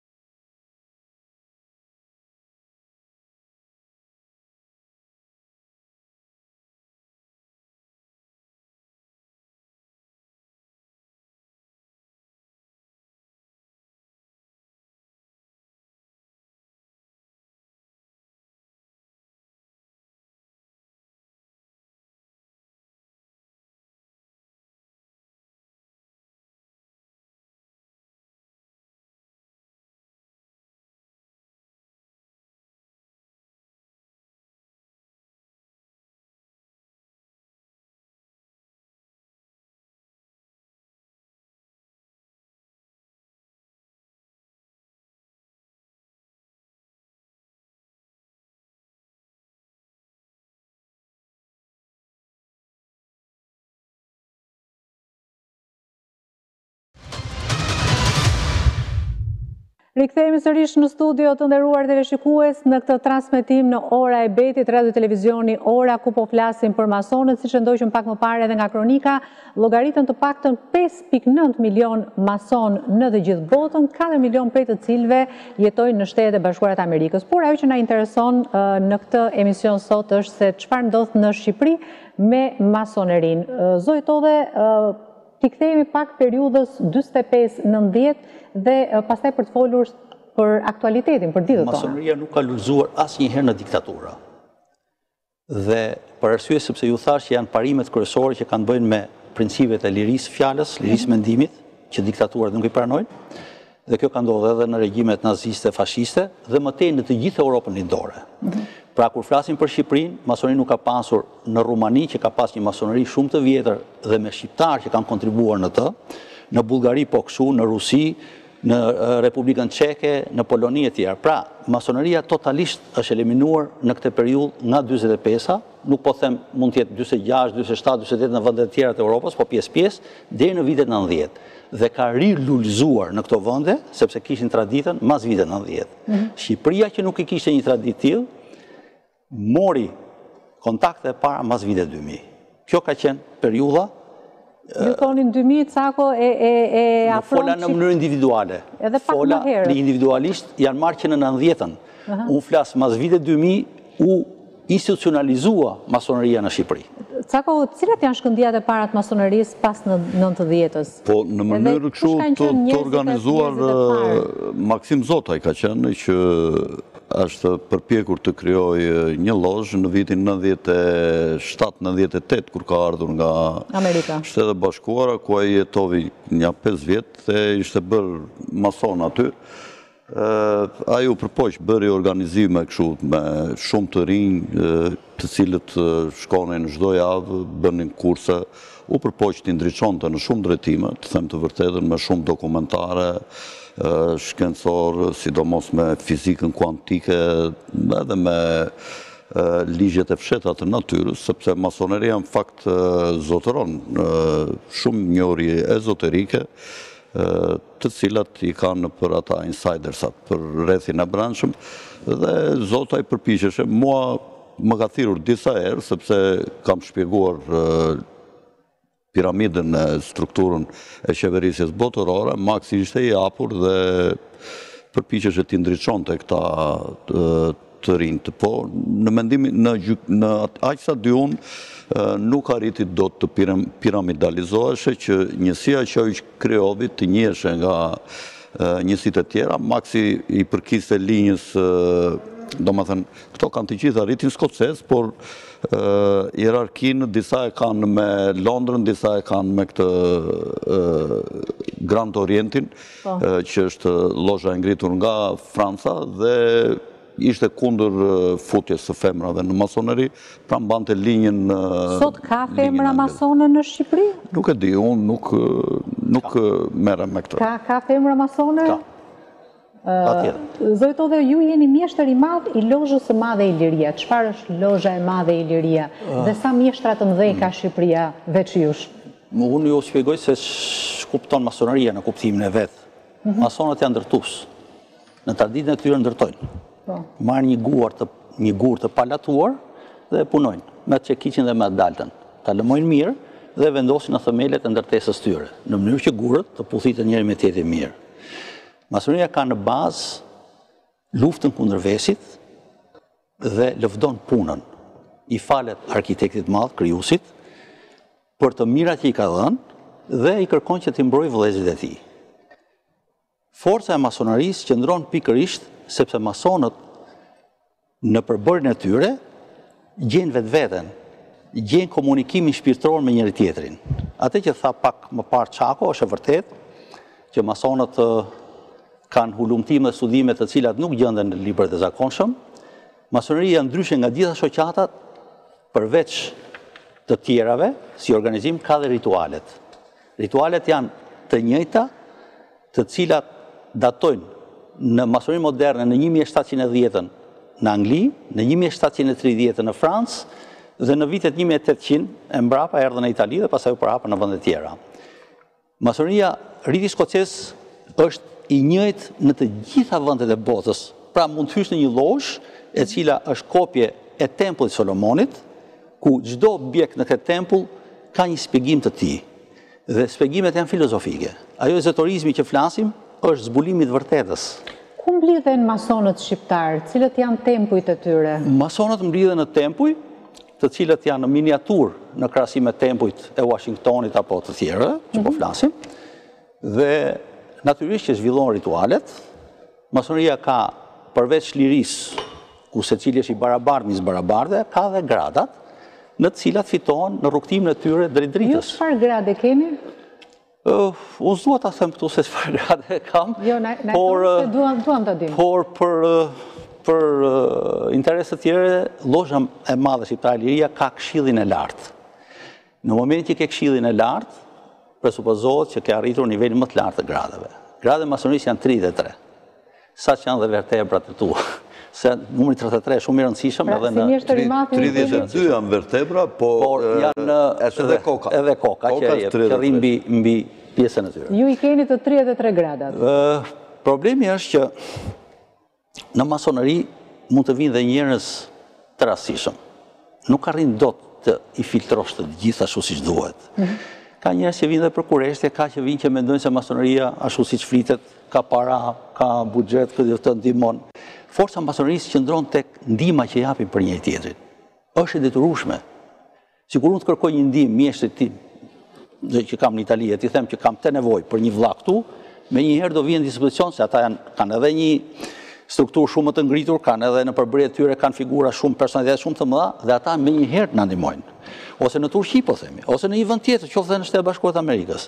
Pra masoneria forcën e ka ke komunikimi dhe ke grupimi ndërmjet tyre. Tani do na flisni pak për Lozhën e Madhe Iliria. Lozha e Madhe Iliria është themeluar në zyrtarisht në dy mijë e shtatëmbëdhjetën. Për arsye se të krijosh një lozhë të madhe do thotë të krijosh një ndërtesë shtëpi të madhe. Brenda kësaj shtëpie të madhe, minimumi duhet të jenë tre shtëpia, pra tre shtëpiza të vogla. Sot Lozha e Madhe Shqiptare Iliria ka pesë shtëpi, një nga këto e ka në Prishtinë. Pra, ne kemi vëllezër kosovarë dhe motra kosovare që bëjnë pjesë tek ne, të cilët kanë lozhën e tyre, për faktin sepse ne, Lozha e Madhe Shqiptare Iliria është një lozhë mbarëkombëtare, kudo që flasin shqip. Mhm. Ne kemi kontakte në gjithë vendet e tjera, por kemi dhe vëllezër të cilët jetojnë jashtë, po që janë në përbërje të lozhës tonë. Ju folët shumë mirë për masonerinë, zoti eh, Abazaj... Mund të bëj një pyetje? Po. Cili është kriteri i dhënies së gradave? Atëherë, kriteri i dhënies së gradave në masoneri. Mund të jetë me interes. Jo them, po, po. them, në lozhë vëllezërit në momentin që bëhen pjesë e masonerisë, grada e parë është një gradë në cilën vëllai vetëm dëgjon edhe shef, nuk flet. Mhm. Është një parim. Nuk po i them periudhat se sa janë, se s'ka gjë. Por, nga të tjerët mëson dhe pregatiten tema. Ato temat ezoterike pregatiten nga vëllezër të tjerë që janë më të ngritur dhe këto tema punohen nga të gjithë. Kur ti arrin që të kuptosh dhe të jesh në gjendje të bësh një temë tënden, mhm. atëherë ti të vjen radha për t'u ngritur në atë gradë. Pastaj edhe me radhën. Po, zoti, detyra të tjera më sipër. Zoti Dode foli për vëllazëri, për mbështetje, për unitet mes vëllezërve masonë. Përse shihet me kaq skepticizëm masoneria? Pse shihet si simbol i të keqes? Pse ka kaq shumë frikë? Pse ka kaq shumë mister po, dhe fshehtësi? E thashë sepse duke parë se ç'ndodh në botë dhe duke shikuar, lexuar në sajë të internetit tashi gjithkush mund të marrë informacion pa kufi. Gjithmonë përmendet Për të këqijat, sepse gjithmonë për të këqijat flitet më shumë se sa për të mirat, përmendet masonët, masonët, masonët, masonët, dhe përmenden raste të, siç ka me shumicë, pa dyshim figura të shquara për mirë, në radhët, nga radhët e masonerisë, përmenden personazhe negativë në historinë botërore, që janë masonë. Pastaj, sa janë dhe sa s'janë, ky është problem tjetër. Kjo gjë përcjell mesazhin negativ ke masat, sidomos në situatat e tmerrit psikologjik që kalohet siç qe rasti i plandemisë për shembull apo raste të tjera të kësaj natyre që ka kaluar bota. ë Siç përmendet ajo e famshmja mafia kazariane, Bëhet lidhja edhe me masonerinë. E theksoj këtë gjë, sa dhe si duhet të jetë është njëra gjë, sa janë të vërteta është njëra gjë dhe çfarë fshihet në gjithë këtë është tjetër gjë pastaj. Zoti, si, pse ka kaq shumë frikë ndaj ndaj masonëve? Përse herë pas here simbolizohen Ose barazohen me, me të keqen, me të keqen. si simboli të keqes. Kjo lidhet me zhvillimin e asaj pjese të letërsisë që e quajmë teoritë e konspiracionit apo të komplotit, mm -hmm. ku bëhet fjalë për një teori pra, që një elitë kërkon të sundojë gjithë botën, duke sjellë rendin e ri botëror, me një fe të vetme, një ushtri të vetme, Dhe kjo elitë, pra janë të gjithë pjesëtarë të organizatave masonike. Kjo është ajo pra e parë, hapi i parë ku ë fillojnë konotacione negative rreth masonëve. Pra ky komplot i madh që duan të shtinë në dorë të gjithë rendin botëror mm -hmm. dhe për të krijuar një rend të ri. Ne A dëgjuam... drejtojnë atë, atë të ashtuquajturën qeveria e madhe botërore? Po, sipas studiuesve të konspiracionit, po, ato janë studiuesit investigativë që kanë Lidhur këto pikat me njëra-tjetrën, pra lidhjet e masonëve me korporatat, me sistemin bankar e tjera. Mhm. Ajo nga çfarë dëgjuam, masonët kanë një mision të liberalizojnë individin nga të gjitha format e identitetit kolektiv, nëse do të përdorja gjuhën e filozofit rus Aleksandr Dugin. Pra folëm se si ato kishin kontribuar në në shkatërrimin e perandorisë osmane, pra ishte një identitet kolektiv perandorak, mhm. të cilët e shkatërruan në emër të liberalizmit. Sot Dugini pra thotë që kjo forcë ka në si parim dy liberalizime të tjera, liberalizimin e emigracionit, pra që njerëzit mos ketë kufi, pra lëvizjen e lirë dhe liberalizimin nga identiteti gjinor, duke krijuar klasa më të vogla të preferencave seksuale, në mënyrë që individi të liberalizohet edhe nga gjinia. Dhe sipas Duginit, pasi individi të jetë liberalizuar nga gjithë format... E kam botuar unë librin, e Duginit Zgjimi i madh, e ka përkthyer Ledi. Dugini thotë që misioni i fundit, pra pasi individi të jetë liberalizuar nga të gjitha format e identitetit kolektiv, do të jetë vetë individi që do të liberalizohet nga vetja vetë. Dhe profesor Alfred Cako na ka thënë gjithmonë për teorinë e transhumanizit, pra të mikroçipit, njeriut që do të ndahen pjesët e trupit. Truri do të punojë më vete në një makineri, zemra do të pompojë më vete diku tjetër. E kuptoj. Profesor Bello, ka një ekzagjerim që i bëhet fenomenit të masonerisë, por jo domosdoshmërisht çdo figurë e njohur apo që ka pasur në dorë në një moment të caktuar fatet e historisë ka qenë ka qenë mason. Absolutisht. Madje edhe kjo që thatë ju për demonizimin e masonëvet, ka të bëjë më tepër me rivalitetin që këta kanë pasur me qendrat e ushtrimit të pushtetit, pra kush kanë qenë monarkitë absolute në një fazë të caktuar, shekulli nëntëmbëdhjetë. Mbas kësaj kanë qenë kisha katolike, ose mhm. kisha ortodokse, ose institucionet e klerit musliman. Pra, gjithmonë këta kanë qenë në luftë me qendrat e ushtrimit të pushtetit, prandaj janë demonizuar. Mhm. Sigurisht nuk duhet t'i mbivlerësojmë, pra rolin dhe fuqinë që kanë këta, sepse Për shembull, kemi një shtet siç është Kina me 1 miliard e sa banorë. Tash masoneria përballë këtyre s'është s'është kurgjë. Edhe nga ana ekonomike, politike, organizimit e të gjitha, prandaj kemi një lloj demonizimi. Unë mendoj që prap shtetet, strukturat ose superstrukturat, siç janë shtetet dhe shërbimet sekrete janë janë institucione që prap do ekzistojnë me fjalë përballë këtyre masonerisë ose strukturave të fshehta. Cako pse veprojnë në fshehtësi masonët? Çfarë duan ata? Cili cili është qëllimi i ekzistencës së tyre, sepse besoj që qëllimi i ekzistencës ka ndryshuar. Shiko, unë kam botuar librin aty Frimasonët dhe kam botuar edhe edhe shumë libra, shumë libra për shembull, po. Për shembull Giordano Brunon, Monografia më fantastike që është botuar në shqip, një libër me 700 faqe e kam botuar unë, shpia ime botuese.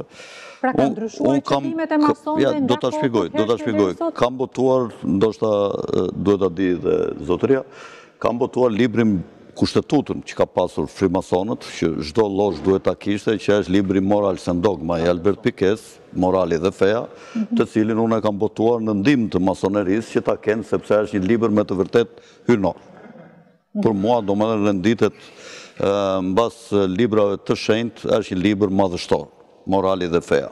Me dy vëllime e kam botuar unë, për arsye që të ishte një çikë i përdorshëm, se është libër voluminoz. Kam botuar dhe shumë libra të tjerë, domethënë që flasin për jetën e masonve, kam jetën e Mozartit, kam Katër studime që analizojnë jetën dhe vdekjen e fshehtë të Mozartit. Mozarti ka qenë një mason i madh, sigurisht aty janë shfrytëzuar ata që sulmojnë masonerinë, që e kundërshtojnë masonerinë, edhe autori këtu që është një asnjanës, jep edhe anët e mira, siç flet zotëria dhe masonët, domethënë për dobinë e masonerisë, jep edhe anët e këqija që, domethënë sulmet që bëhen ndaj tyre, masoneria akuzohet, ta themi me dy fjalë, si një software i iluminatit, i cili ka bërë një hardware për të sunduar botën. Nuk dihet, ka mister të madh, foli me të drejtë zotëria, nuk dihet mënyra e krijimit të njerëzimit, ka hipoteza nga më të ndryshmet, ajo që tha për shembull që kanë marrë pjesë tre, mendohet që janë dy vëllezër dhe një motër që është ashtari ose astartja që i theshin këta, që ka qenë në atë laborator, janë dhe dy vëllezërit Enki dhe Enlili, të cilët janë fëmijë të Anus, sipas teorisë së Zeharia Siçinit të librit Planeti 12, të cilin edhe këtë e kam sjellë unë në shqip. Dhe ka shumë njerës që i kanë hedhur poshtë, ekziston një teori e një arkeologu të shquar që quhet Michael Cremo, librin e të cilit ne jemi duke e botuar, Forbidden Archaeology, Arkeologjia e Ndaluar, i cili tregon me fakte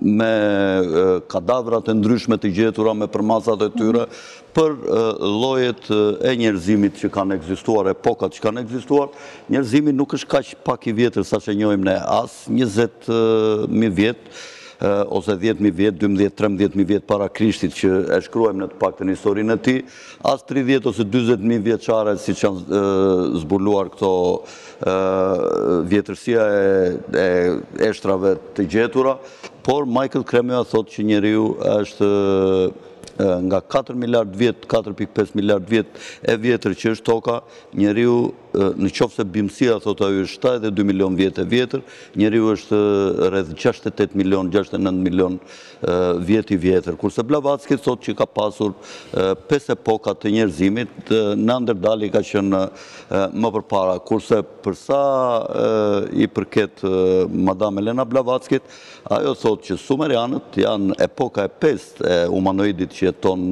në Tokë, por është epoka e katërt kur kanë qenë Atlantidasit, ku mendohet që jemi ne, raca pellazge ose dorojonianët dhe lufta e Aleksandrit në lindje nuk ishte gjë tjetër veçse nënshtrimi i sumerianëve nga raca e katërt, kurse për sa i përket figurave të ndryshme që kanë drejtuar në politikë, për shembull Hitleri, që Pak njerëz e dinë, ka qenë anëtar i një organizate masonike e krijuar nga Rudolf von Sebentondorfi, i cili ka qenë një bektashi gjerman dhe ka bërë edhe një libër Numerologjia e Bektashinjve, të cilin e kam botuar unë para pak kohësh.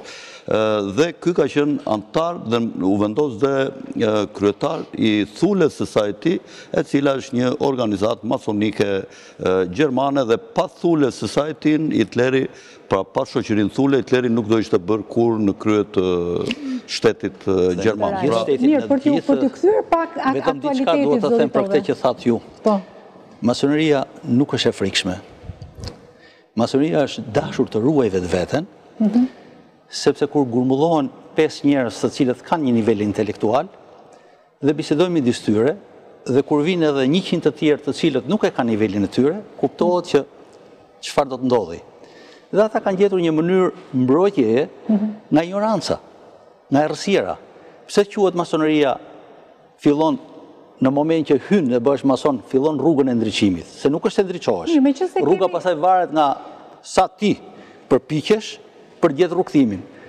Ndriçimin e gjeti Buda, po e gjeti me përpjekje dhe kolosale, jo çdo njeri e merr. Megjithëse kemi të bëjmë me një përvojë kaq të pra, fshehtë dhe kaq të po sekrete, si organizohen masonët, ku takohen, si rekrutojnë njerëzit e rinj?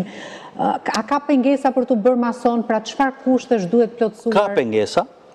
Masonët nuk mund të futet çdo kush, prandaj janë pak, prandaj janë kaq pak. Ka kritere morale po ti, sepse kërkohet një kredibilitet i personalitetit tënd, aspekti moral, pra nuk duhet të jesh i dënuar, është e detyrueshme të kërkohet certifikata e drejtësisë. Mhm. Pra ne e kërkojmë. Në gjithë bëhet dhe dikush garant nga brenda, nga vëllezërit. E dyta, e dyta ka dhe një problem tjetër që nuk e takon një person. E takojnë disa persona, pra disa vëllezër. Po. Dhe nëse njëri thotë për një arsye të argumentuar që ky nuk duhet të jetë, Natyrisht që nuk duhet të jetë. Pra duhet një vendim unanim i të gjithë? Duhet të jetë unanim. T'ju pyes, sa ka një numër të përafërt se sa është numri i masonëve sot në Shqipëri dhe në sa sekte apo lozha apo bashkësi janë të ndarë? Ju thashë pak më parë, është krijuar një lozhë që quhet rregolare. Mhm.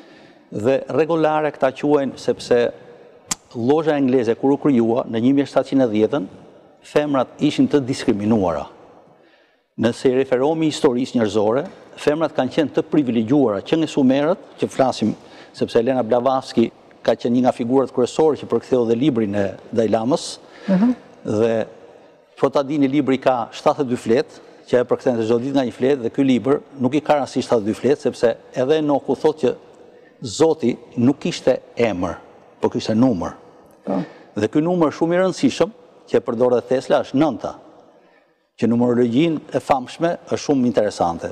Kjo pastaj i përket Alfredit që të flasi pastaj në librat që përkthen, se s'do t'i zgjatem më shumë kësaj.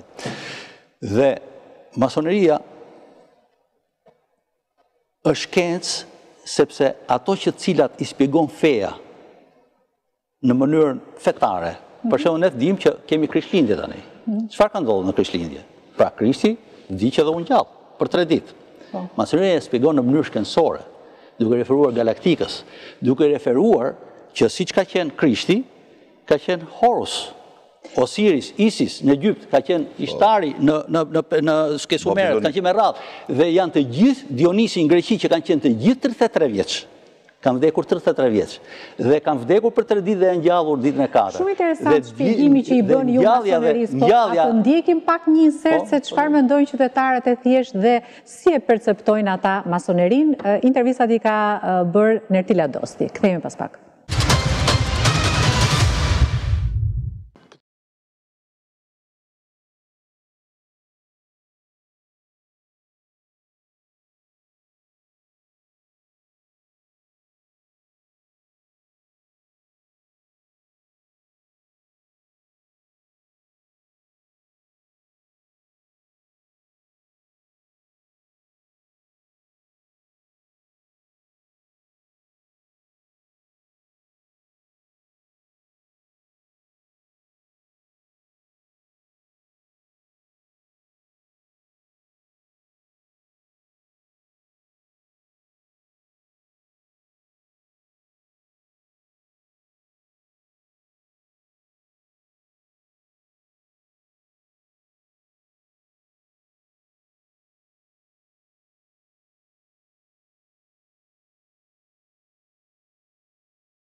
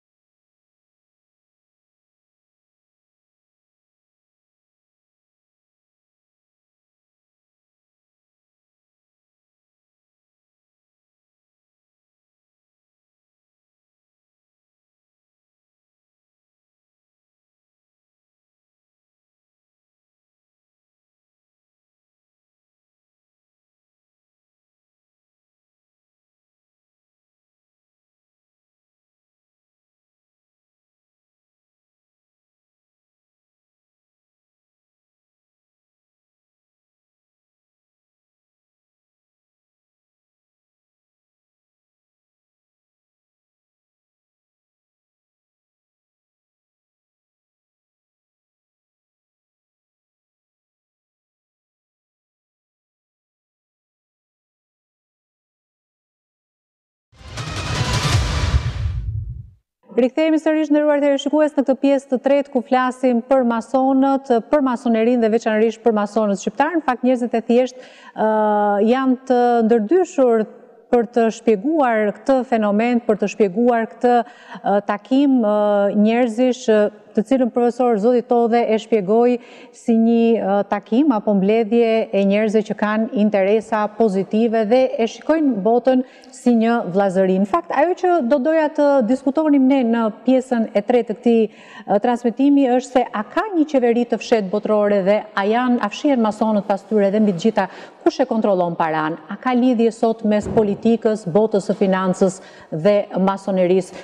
Ju pak më parë gjatë publicitetit donit të shtonit edhe diçka, po thoshit që ndoshta masoni i parë shqiptar ka qenë Gjergj Kastrioti? Gjergj Kastrioti. Dhe në në kështjellën e Krujës kushdo mund të shkojë, ta vizitojë, ka vulën që përdorte Gjergj Kastrioti. Në këtë vulë, në pjesën e sipërme, janë dy simbolet e masonerisë, në nivelin më të lartë që përdoret. E kanë parë, e kanë vizituar dhe masonë tjerë, mm. të cilët kanë ardhur, kanë parë dhe kanë Nga sa di unë dhe nga informacioni im që kam marrë nga njerëz të veçantë, në prag të vdekjes së Gjergj Kastriotit, Gjergj Kastrioti ka çuar katër persona familjarë shqiptarë në katër drejtime të ndryshme për të transmetuar. Dhe këta kanë një peshë shumë të madhe këto familje në elitën botërore sot. Gjergj Kastrioti bënte pjesë tek rrethi i Alfonsit, mbretit të Napolit, sepse Jacques de Molay,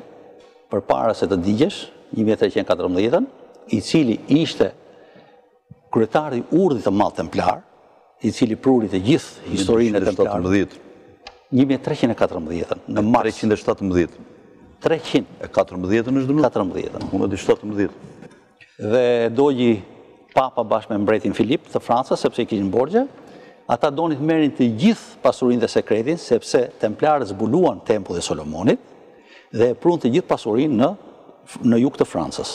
Mm. Në momentin që e dogjën, ai kishte ngritur 4 loja. 4 lozha e cila njëra ishte në Napoli, njëra Edinburg, tjetra ishte në Vjenë dhe një tjetër ishte në Londër. Këto lozha funksiononin, janë lozhat e para masonike që vijnë nga trashëgimia kulturore e qenies njerëzore. Pra nuk është një mijë e shtatëqind e dhjetë apo një mijë e shtatëqind e tridhjetë, po janë këto lozha.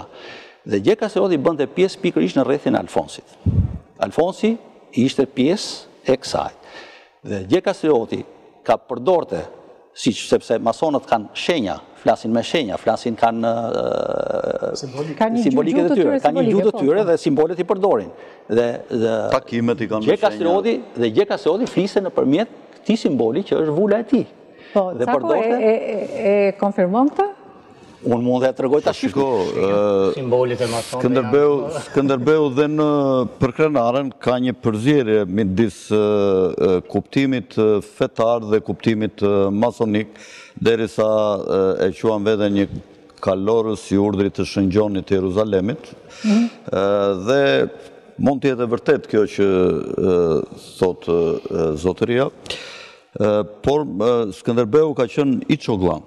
Içoglan ka qenë një rreth i ngushtë i fëmijëve me gjak të një fisnikërie të lartë nga vendet që pushtonin osmanët dhe ata kishin mësuesit e tyre të cilët ju mësonin fëmijëve dijet e fshehta apo të humbura që ruheshin për një grup të vogël njerëzish sipas parimit që ka masoneria Që mishi është për burrat, qumështi është për foshnjat. Pra, popullit i thuheshin gjëra më të thjeshta, sepse nuk ishte në gjendje t'i kuptonte, se të vrasin me gurë, po t'ua thuash, dhe Jezusin e vranë me gurë, ai filloi të fliste me parabola dhe këta e vranë, kupton? Gjithkush mund të thotë që unë jam mason. Madje mund të jesh edhe i iniciuar në një lozhë, nëse nuk bën aktivitet, nëse nuk ndjek ritualet, për një kohë qoftë dhe tre herë rresht, Je i fjetur, për atë që është i iniciuar. Po. Për atë që nuk është i iniciuar dhe thotë jam mason. Nuk ai mund të pretendojë që është mason. Masoneria detyrimisht kërkon takimin sistem në mënyrë sistematike simbas programit që ka. Pra, masonë mund të ketë në botë që pretendojnë kam parë që kanë ardhur në televizor një tjetër, kam pyetur dhe francezët që kanë ardhur një tjetër. Vin të ndryshëm, vin italian, thonë unë jam mason, hajde bëjmë një, kështu ka filluar edhe në Shqipëri. Mhm. Edhe hajde bëjmë një lozhë masonike, siç edhe të tjerë janë përpjekur. Masoneria kërkon detyrimisht njofjen të kesh një patentë, të njifesh në mënyrë ndërkombëtare dhe organizimi i lozhave dhe ritualet të bëhen në mënyrë sistematike. Nëse ti nuk merr pjesë qoftë dhe një herë, dy e tre një tjetër, nuk mundesh të jesh qoftë i iniciuar. Të kam dëgjuar në në një intervistë që përmendje disa emra politikanësh shqiptarë që thua janë mason edhe të po disa er, njerëz se nuk guxoj të them ose po, nuk dua të bëj gabime. Po kshu flitet për këtë Kosovarin ky që është dhe botues, ka dhe një televizion se si e ka ky se harrova, ka qenë në Rambuje, Veton Surroi. Veton Surroi.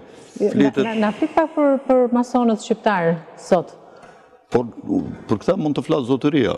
Unë mund të flas për Rudyard Kiplingun ose William Blake-un, të cilëve u kam përkthyer poezitë, që janë poetë të mëdhenj. Dhe ka qenë një nga Për, përse refuzojnë këta emra të njohur të, të deklarohen ah, publikisht? Unë nuk kam dalë herë dhe erdha jo. ta them pikërisht për atë, sepse masonët nuk penalizohen nëse thonë që unë jam mason, nëse pyetet. Mhm.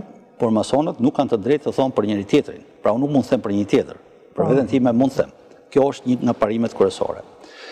Masonët, nëse ti i kërkon ndihmë një vëllai, dhe ai nuk ta jep, ai automatikisht përjashtohet nga të gjitha vëllazëria, kudo të jetë. Çfarë kërkon tani? Është e mbyllur në mënyrë hermetike kjo gjë. Lidhur doja thoja për shqiptarët. Në Shqipëri ka shumë mason që unë i kam kontaktuar ose pretendojnë që janë mason, që preferojnë të jenë për shembull anëtarë të një lozhe bullgare që është hiçi, që nuk e njeh kush fare. Kosovarët në pjesën më të madhe pretendojnë të jenë anëtarë të lozhës serbe, që serbët nuk janë më të fuqishëm se ne. Për shembull, lozha jonë e madhe shqiptare Iliria ka atributet dhe ka autoritetin të japi dhe rekomandime për futjen e lozhave të tjera ose krijimin e lozhave të tjera. Gjë që e kanë pas dikur italianët, francezët etj. Ju keni bërë mos gaboj një kongres disa muaj më parë? Ne kemi bërë një takim ndërkombëtar, që është takimi i radhës ballkanik. Është bërë në Durrës, ëh? Në Durrës. Dhe qendra ose lozha është ngritur pikërisht në Durrës, sepse ne konsiderojmë që edhe masoneria është e vjetër dhe Durrësi është një nga qytetet më të vjetra të Shqipërisë. Dhe Durrësi në vetvete mbart një histori të gjallë të këtij populli.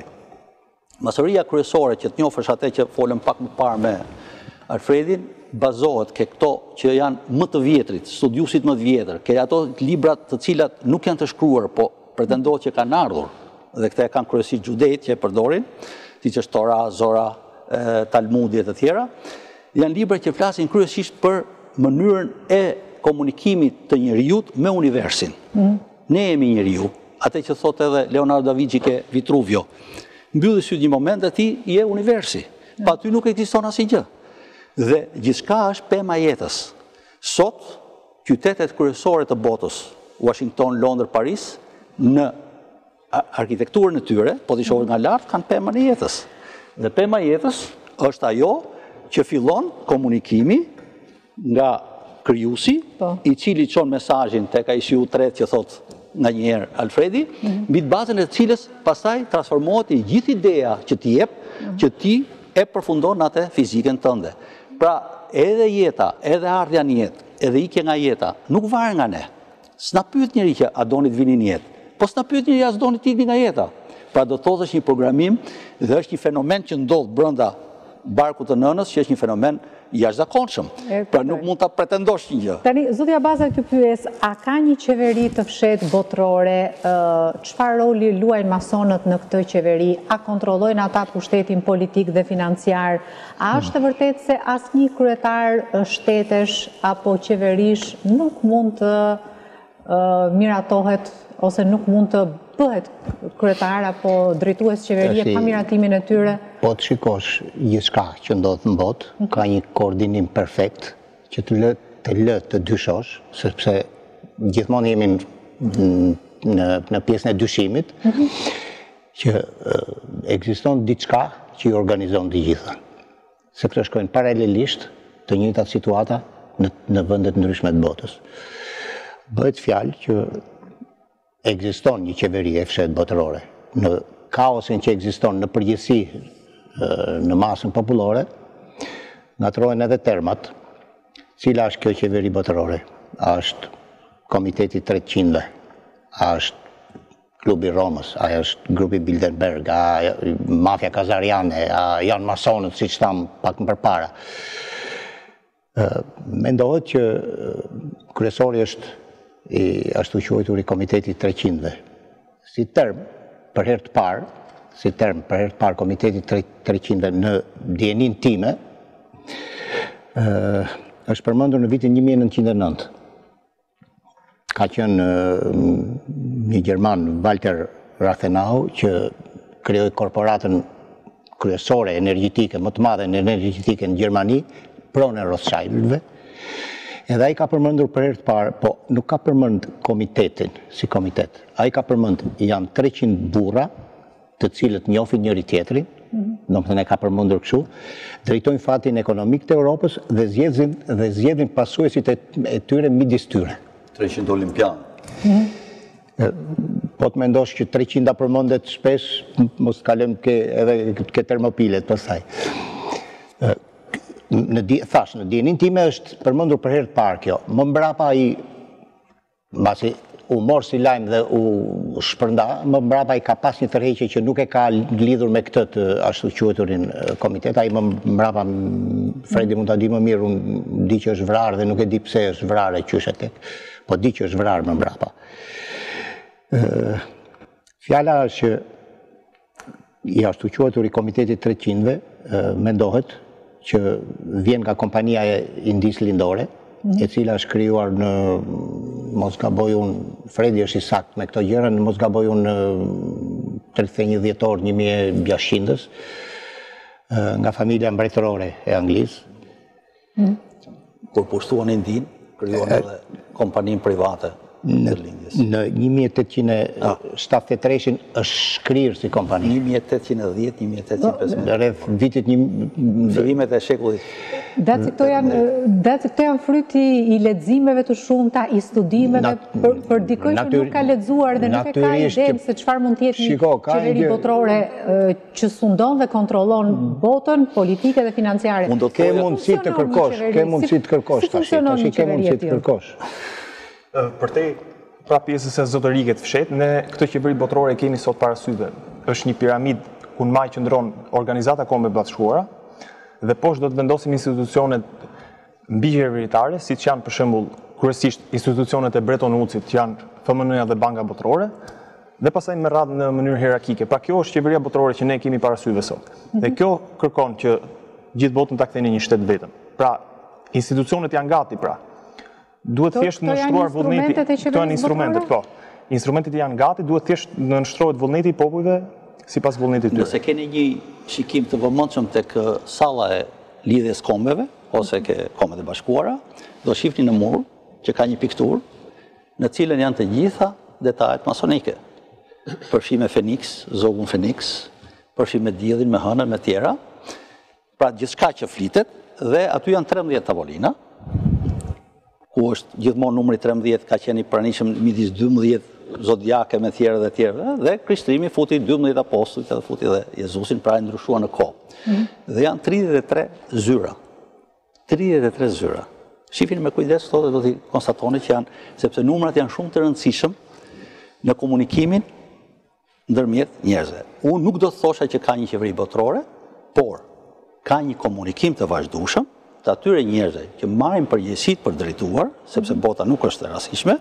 Do t'ju kujtoj vetëm një rast në vitet 62 ku pati një krizë ndërkombëtare ndërmjet Shteteve të Bashkuara të Amerikës ku presidenti ishte Kennedy dhe Rusisë lidhur me raketat në Kubë.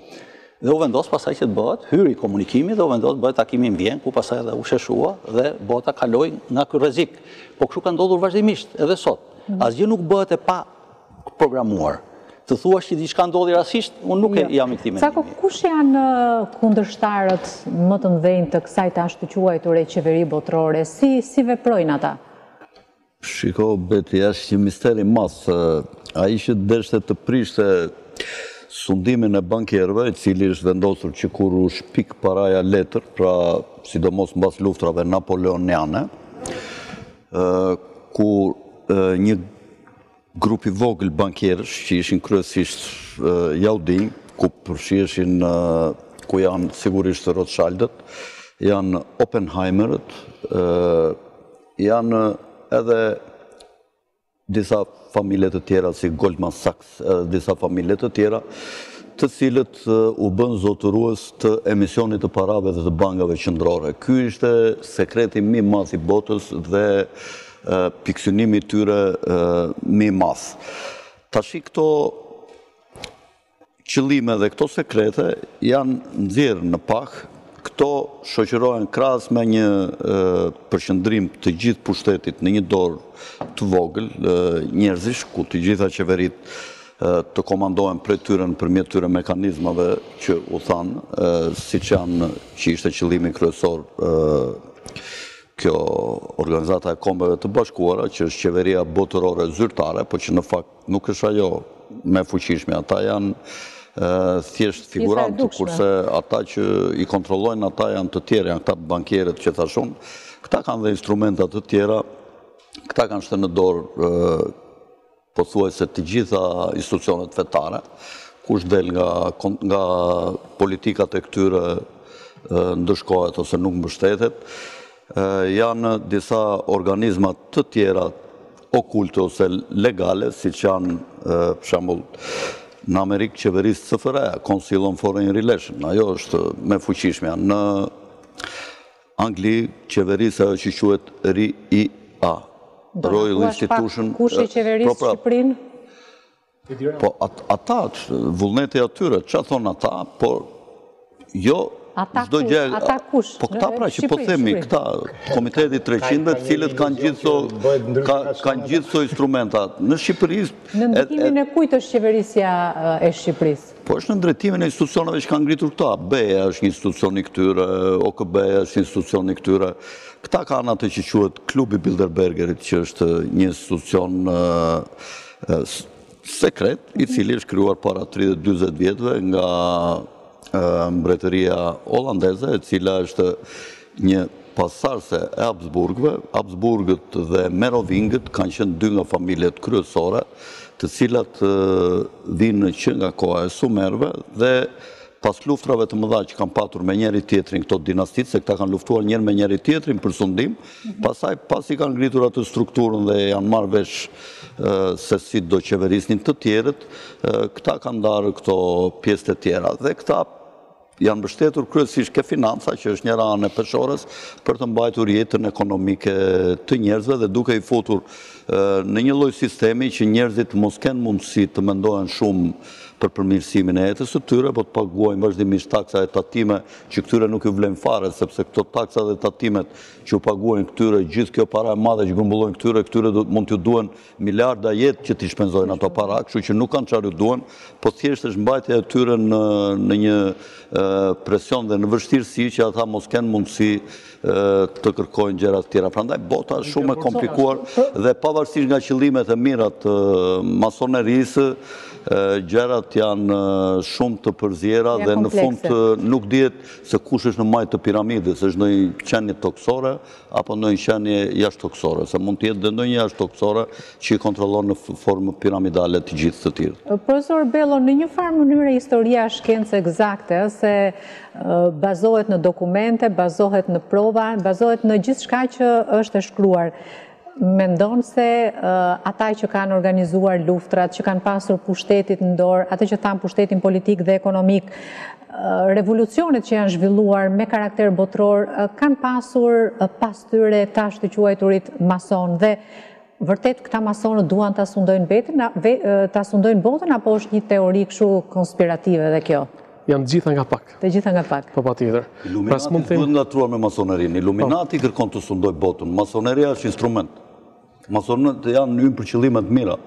Por, kam përshtypjen që elita e tyre është margjinalizuar dhe kontrollohet nga Illuminati. Pra, Masoneria e kërkon të bëjë më pjerë. Illuminati, masoneria. Po, pra, Masoneria kërkon ta bëjë botën më të mirë, sipas mënyrës së vet. Mhm.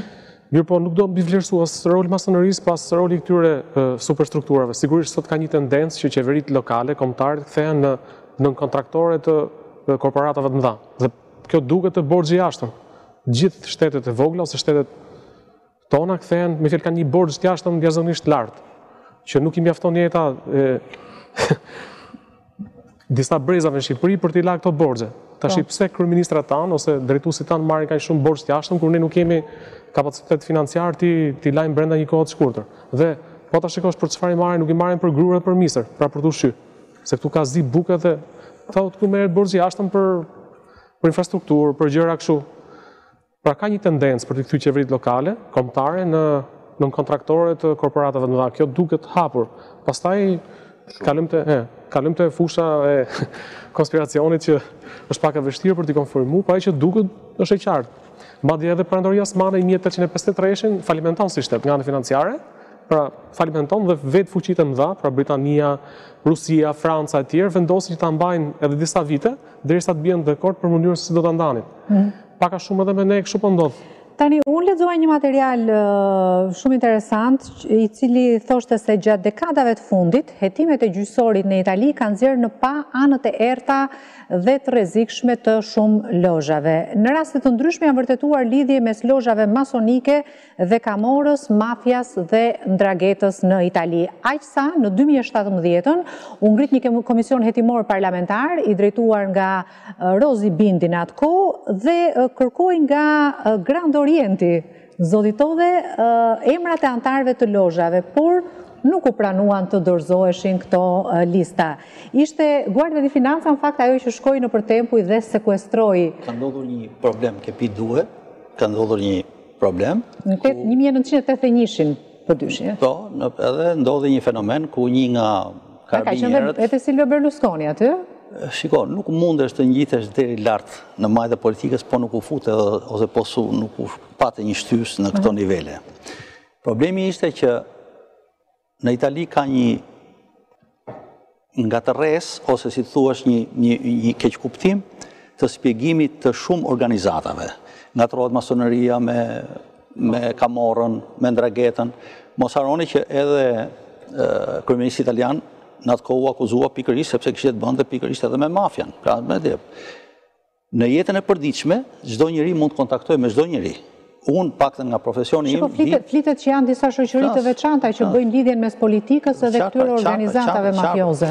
Në jetën shoqërore, ne të gjithë bashkë, unë po të kem nesër një nevojë, do të telefonoj ty, ose ti do më telefonosh mua, gjëra që ndodhin edhe në aktivitetin e përditshëm. Po, po. Se në fund të fundit ça është Kamorra, është një grupim i veçantë, personash, individësh, të cilët mendojnë të zhvillojnë aktivitetin e tyre ekonomik jashtë kontrollit shtetëror. Pra duan të mendojnë diçka për ata ndajnë, çojnë nëpër shpia, japin ndihma, japin gjëra, pra janë njerëz humanë në kuptimin e kësaj, por janë të egër sepse duan të komandojnë dhe nuk duan të lënë një tjetër që të jetë, të bëjë aktivitet të lirë ose kanë zonat e tyre të influencës. Në këto zona, të cilat këto kanë qenë shumë të fuqishme, sidomos në zonën e Napolit, në zonën e Barit, në zonën e Sicilisë, natyrisht që shteti italian nuk mund të rrijë edhe pa influencën ose pa kontaktin e këtyre, sepse i janë dash votat, sepse ndodh edhe në Shqipëri. Themi ne shpesh që politikani filan takoi këtë ose këtë ose këtë, po ai është kështu, është kështu, është kështu, kështu. Ndoshta sepse i duhet që të marrë këto vota dhe influencat, pra kanë ndodhur disa fenomene të tilla. Por, masoneria në përgjithësi, Ka një fenomen shumë interesant, në momentin që një vëlla ka një problematikë me drejtësinë, automatikisht këputet. Automatikisht ai është i larguar definitivisht. Pra, kjo është një fenomen që brenda masonërisë mund të ketë edhe njerëz që nuk janë të denjë për të qenë aty. Po kjo nuk e ndot ose nuk e përlyen dot institucionin e masonerisë. Kjo është ajo që duhet të theksoj. Mirë, do të ndjekim tani një tjetër insert i cili flet për lidhjen e masonerisë me paranë dhe në fakt kush e kontrollon botën financiare sot. Pastaj do të kalojmë në publicitet për t'u kthyer në pjesën e fundit. Kush e kontrollon paranë? Autori David Icke, në librin Prapaskenat e historisë botërore, shkruan, Monedha botërore nuk ka për qëllim të nënkuptohet si një lloj paraje fizike. Ajo do të jetë krejtësisht një kredi, shifra në ekranin e një kompjuteri. Plani është që të zëvendësohen të gjitha paratë në letra dhe monedha, madje edhe kartat e kreditit me një kod shifër të futur në lëkurën e çdo qenie njerëzore, Ky kod do të programohet me të gjitha detajet tona duke përfshirë edhe pasuritë tona financiare. Ju do të mund të shkoni në një dyqan dhe të paguani për të mirat duke mbajtur këtë kod, ndoshta në kyçin tuaj, mbi peshoren, në një banak pagese. Kjo do të lexojë kodin, do të kontrollojë nëse ju keni kredit të mjaftueshëm dhe do të riprogramojë deklaratën e re bankare nën lëkurën tuaj për të skontuar shumën të cilën ju sapo e keni shpenzuar. Kjo gjë ofron potencial të stërmadh për kontroll. Aktualisht, nëse ju shkoni në një dyqan dhe kompjuteri refuzon kartën tuaj të kreditit, ju mund të paguani me lekë në dorë. Por çfarë ndodh kur nuk ekzistojnë paratë kesh dhe kompjuteri nuk e njeh dhe i thotë jo kodit tuaj? Ju nuk keni asnjë mjet për të blerë diçka. Dhe natyrisht, ata të cilët bëjnë fushatë kundër diktaturës globale komuniste ose fashiste Do të zbulojnë se kompjuterët nuk duan t'ia dinë. Marifetet që s'ka lidhje me epokën tonë? Aspak. Teknologjia tashmë ekziston dhe është vetëm një çështje e mbarsjes së opinionit publik për pranimin e këtij sarmi.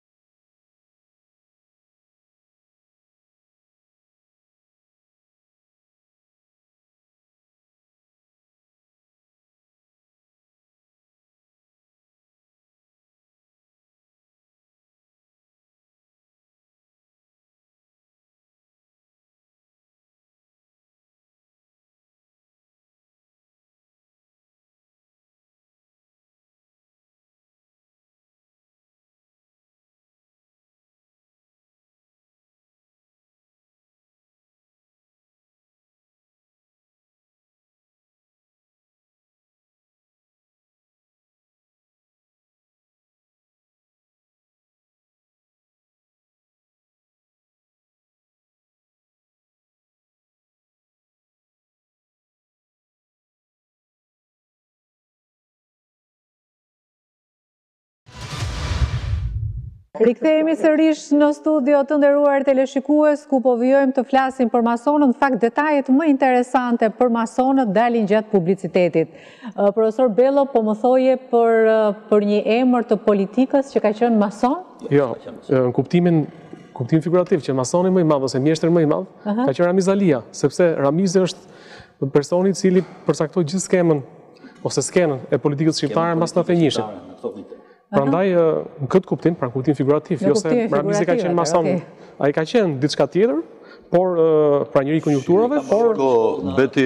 Politikë me Rusi dhe nuk ka pas lidhje fare me masoneri. S'ka pas lidhje, po.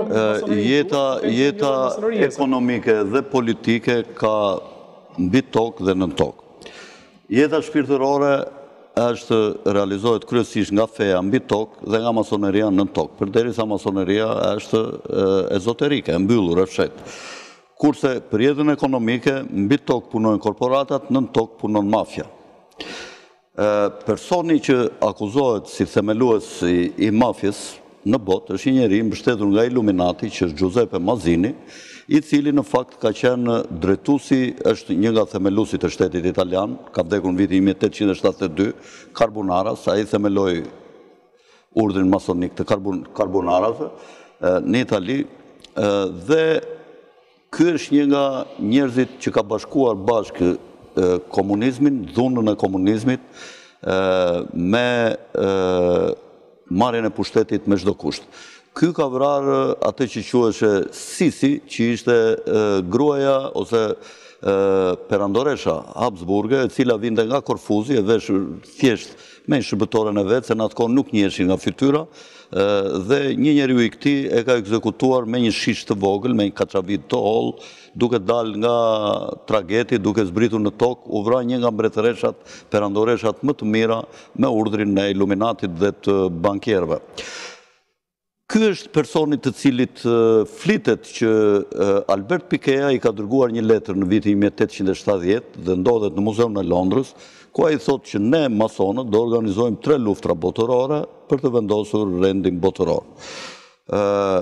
Dhe Lufta e parë i thotë, do ekzekutojmë gjithë këto mbretëritë, perandoritë, të cilat janë pengesë për të vendosur një pushtet qendror të vetëm, do t'i fusim të gjitha në një luftë me njëri-tjetrin, se problemi ishte që ishin tre kushërinj të parë, tha, perandori rus, perandori gjerman dhe perandori britanik ishin tre kushërinj të parë, jo të tre me njëri-tjetrin, po ai britaniku kishte kushëri të parë dhe gjermanin dhe rusin. Dhe kur ka dhënë urdhër bankerët për ta ekzekutuar me gjithë familjen, imagjinoje ti për pushtetin sa çfarë bëjnë, domethënë kanë rënë dakord që të vrasin gjithë fëmijët e kushërinjve të parë vetëm për skemat e mëdha të pushtetit botëror që ata kishin E kuptoj. Mirë, meqenëse jemi në, në minutat e fundit të kësaj bisede, do doja nga të gjithë të ftuarit një refleksion të fundit Si parashikohet ose si si do të jetë e ardhmja e masonerisë? Masoneria ka lindur dhe do vazhdojë derisa njerëzimi të ekzistojë. Nuk ka, sepse përbën pjesën më vitale të qenies humane. Dhe masoneria është i vetmi institut që komunikon shpirtërisht me krijuesin. Kjo është. Nuk jo jo fetë? Jo, fetë nuk kanë asnjë lidhje me këtë. Zonja Bazaj? Natyrisht që nuk mund të parashikosh saktë, po arsye për t'u zhdukur nuk ka. Nuk ka asnjë lloj arsye për t'u zhdukur. Pastaj, se sa... Zimi, jo masoneri. Po, se sa do evoluojë, se sa do realizojë, çfarë, deri në ç'nivele do arrijë, pastaj është për t'u parë. Zoti Daci? Unë do thoja atë që na e jep si mesazh autori i famshëm i konspiracioneve David Icke, Ndryshimi do të fillojë kur ne të ndryshojmë perceptimin tonë mbi botën. Siç e tha mjeshtri i madh, ne kemi një natyrë hyjnore. Ta ndryshojmë perceptimin për çfarë? Mbi botën, lini ta mbaroj. Mjeshtri i madh tha që ne kemi një natyrë hyjnore, por ne që nga lindja deri në varr askush nuk na e thotë këtë gjë, por na thonë në të kundërt që të vetidentifikohemi me etiketime njerëzore të limituara. Për shembull, unë jam mashkull, Jam shtresë e mesme, jam një profesion i caktuar. Kur në fakt këto thotë janë vetëm eksperienca tona. Ne jemi gjithçka që ka qenë, është dhe do të jetë, duke përjetuar një eksperiencë. Pra, kur njerëzit kuptojnë natyrën e tyre hyjnore, besoj që do të ketë një ndriçim për njerëzimin. Kur punojnë me shpirtin, pra. Zoto, dhe besojnë masonët në Zot? Aplikojnë ata fe të tjera? Atëherë, masonët janë të mirë. Pa besuar në Zot, nuk bëhesh mason. Masonët, ja ta shpjegoj me dy llafe. Masonët janë të lirë në besimin e tyre. Po. Por si masoneri, ne besojmë ke arkitekti i madh. Ne themi, ka një arkitekt që ka bërë këtë mrekulli, që këte univers e mban në mënyrë perfekte të funksionojë në këtë mënyrë, që ne si njerëz që perceptohemi se jemi qënia më inteligjente e rruzullit, të kemi këte lloj mundësie. Këta kanë atë G-në brenda kompasit dhe skuadrës. Kompasi është qielli, skuadra toka, do t'i sundojmë të dyja, thonë këta. Që ne themi që krijuesi Na krijoi, por dhe na kufizoi. Ne jemi të kufizuar në lëvizjet tona. Nuk jemi 100% të lirë. Kapaciteti i trurit tonë është shumë i kufizuar. Dhe ne themi që pikërisht këte, që, sepse G-ja ka disa kuptime dhe unë nuk e them për ashtu, por është e vetmja mundësi atë që populli hebre e bën me shekuj, mhm. që i shifni ata që shkojnë e falen ke ai guri përditë, që ju mbase nuk ikin të fitojnë para. Por rrinë ke ai guri sepse ata punojnë shpirtërisht. Problemi është që sa je ti në gjendje me atë jogën tënde që rri gjithë ditën që harxhojnë ato, të marrësh dritën të komunikosh. Sa je në gjendje ti shpirtërisht të komunikosh me universin. Ajo pjesa që tha zotëria është një një gjë e më e rëndomtë materia. Ne do të shpëtojmë kur të fillojmë të rritemi me universin në mënyrë shpirtërore, sepse shpirtrat ne themi rikthehen. Po. Ça, profesor Bello? Atëherë, unë uroj që këta të ndjekin shembujt e masonëve të viteve 20-30, të japin kontributin e tyre për ndërtimin e shtetit shqiptar, për forcimin ekonomik, e tjera, e tjera. Pra, më gëzoi fakti që këta janë përpara masonërisë serbe, pra janë mbi mbi serbët në këtë fushë dhe uroj që këtë influencë dhe këtë arritje që kanë deri tani ta përdorin pra në funksion të interesave të shoqërisë shqiptare, të kombit shqiptar. Cako, një një përmbyllje? Shiko, bota është përballë disa sfidave të mëdha që është depopullimi. dhe mikroçipimi dhe kontrolli. Masoneria gjatë kësaj periudhe nuk mbajti ndonjë qëndrim. Për shembull, unë zotërinë nuk e kam parë të dalë të flasë, t'u thotë njerëzve ose të thotë ne masonët shqiptarë jemi kundër vaksinimit me detyrim, sepse është një ndërhyrje me forcë mbi trupin e njeriut. Dhe këtu është vija e kuqe ku ndahemi ne që duam atë lirinë dhe barazinë ne njerëzit, që nuk jemi as në masoneri as, unë do të dëshiroja shumë që këta të kishin dalë dhe t'i thoshin qeverisë shqiptare, jo vaksinim me detyrim, jo maskë me detyrim, jo të dalin tashti të thonë, jo mikroçipim me detyrim, pra do një kritikë kjo për masonerinë. Politike dhe shoqërore në Shqipëri. Unë ju thashë pak më po, parë, por edhe ardhja këtu është një hap. Ju thashë që masoneria nuk merret me po, politikë dhe me fe. E lavdërojmë për këtë. Nuk merret me politikë dhe me fe, por masonët në vetvete, ato që ne propagandojmë, që inspirojmë njëri-tjetrit, që flasim për moralin dhe për virtytin, ata njerëz kur dalin në jetë e shprehin. Masoneria nuk është institut ose institucion qeveritar, që të mund t'i jo, po i diktojë popullit. Jo, po fjala jote vlen shumë, po të dilje ti si mjeshtër i madh, të thoshe jemi kundër tyre, edhe nëse, edhe nëse do thosha unë kundër apo jo, nuk do të kisha të drejtë, edhe si, edhe si masoni, po edhe si lozhë, për faktin sepse as unë nuk jam i bindur,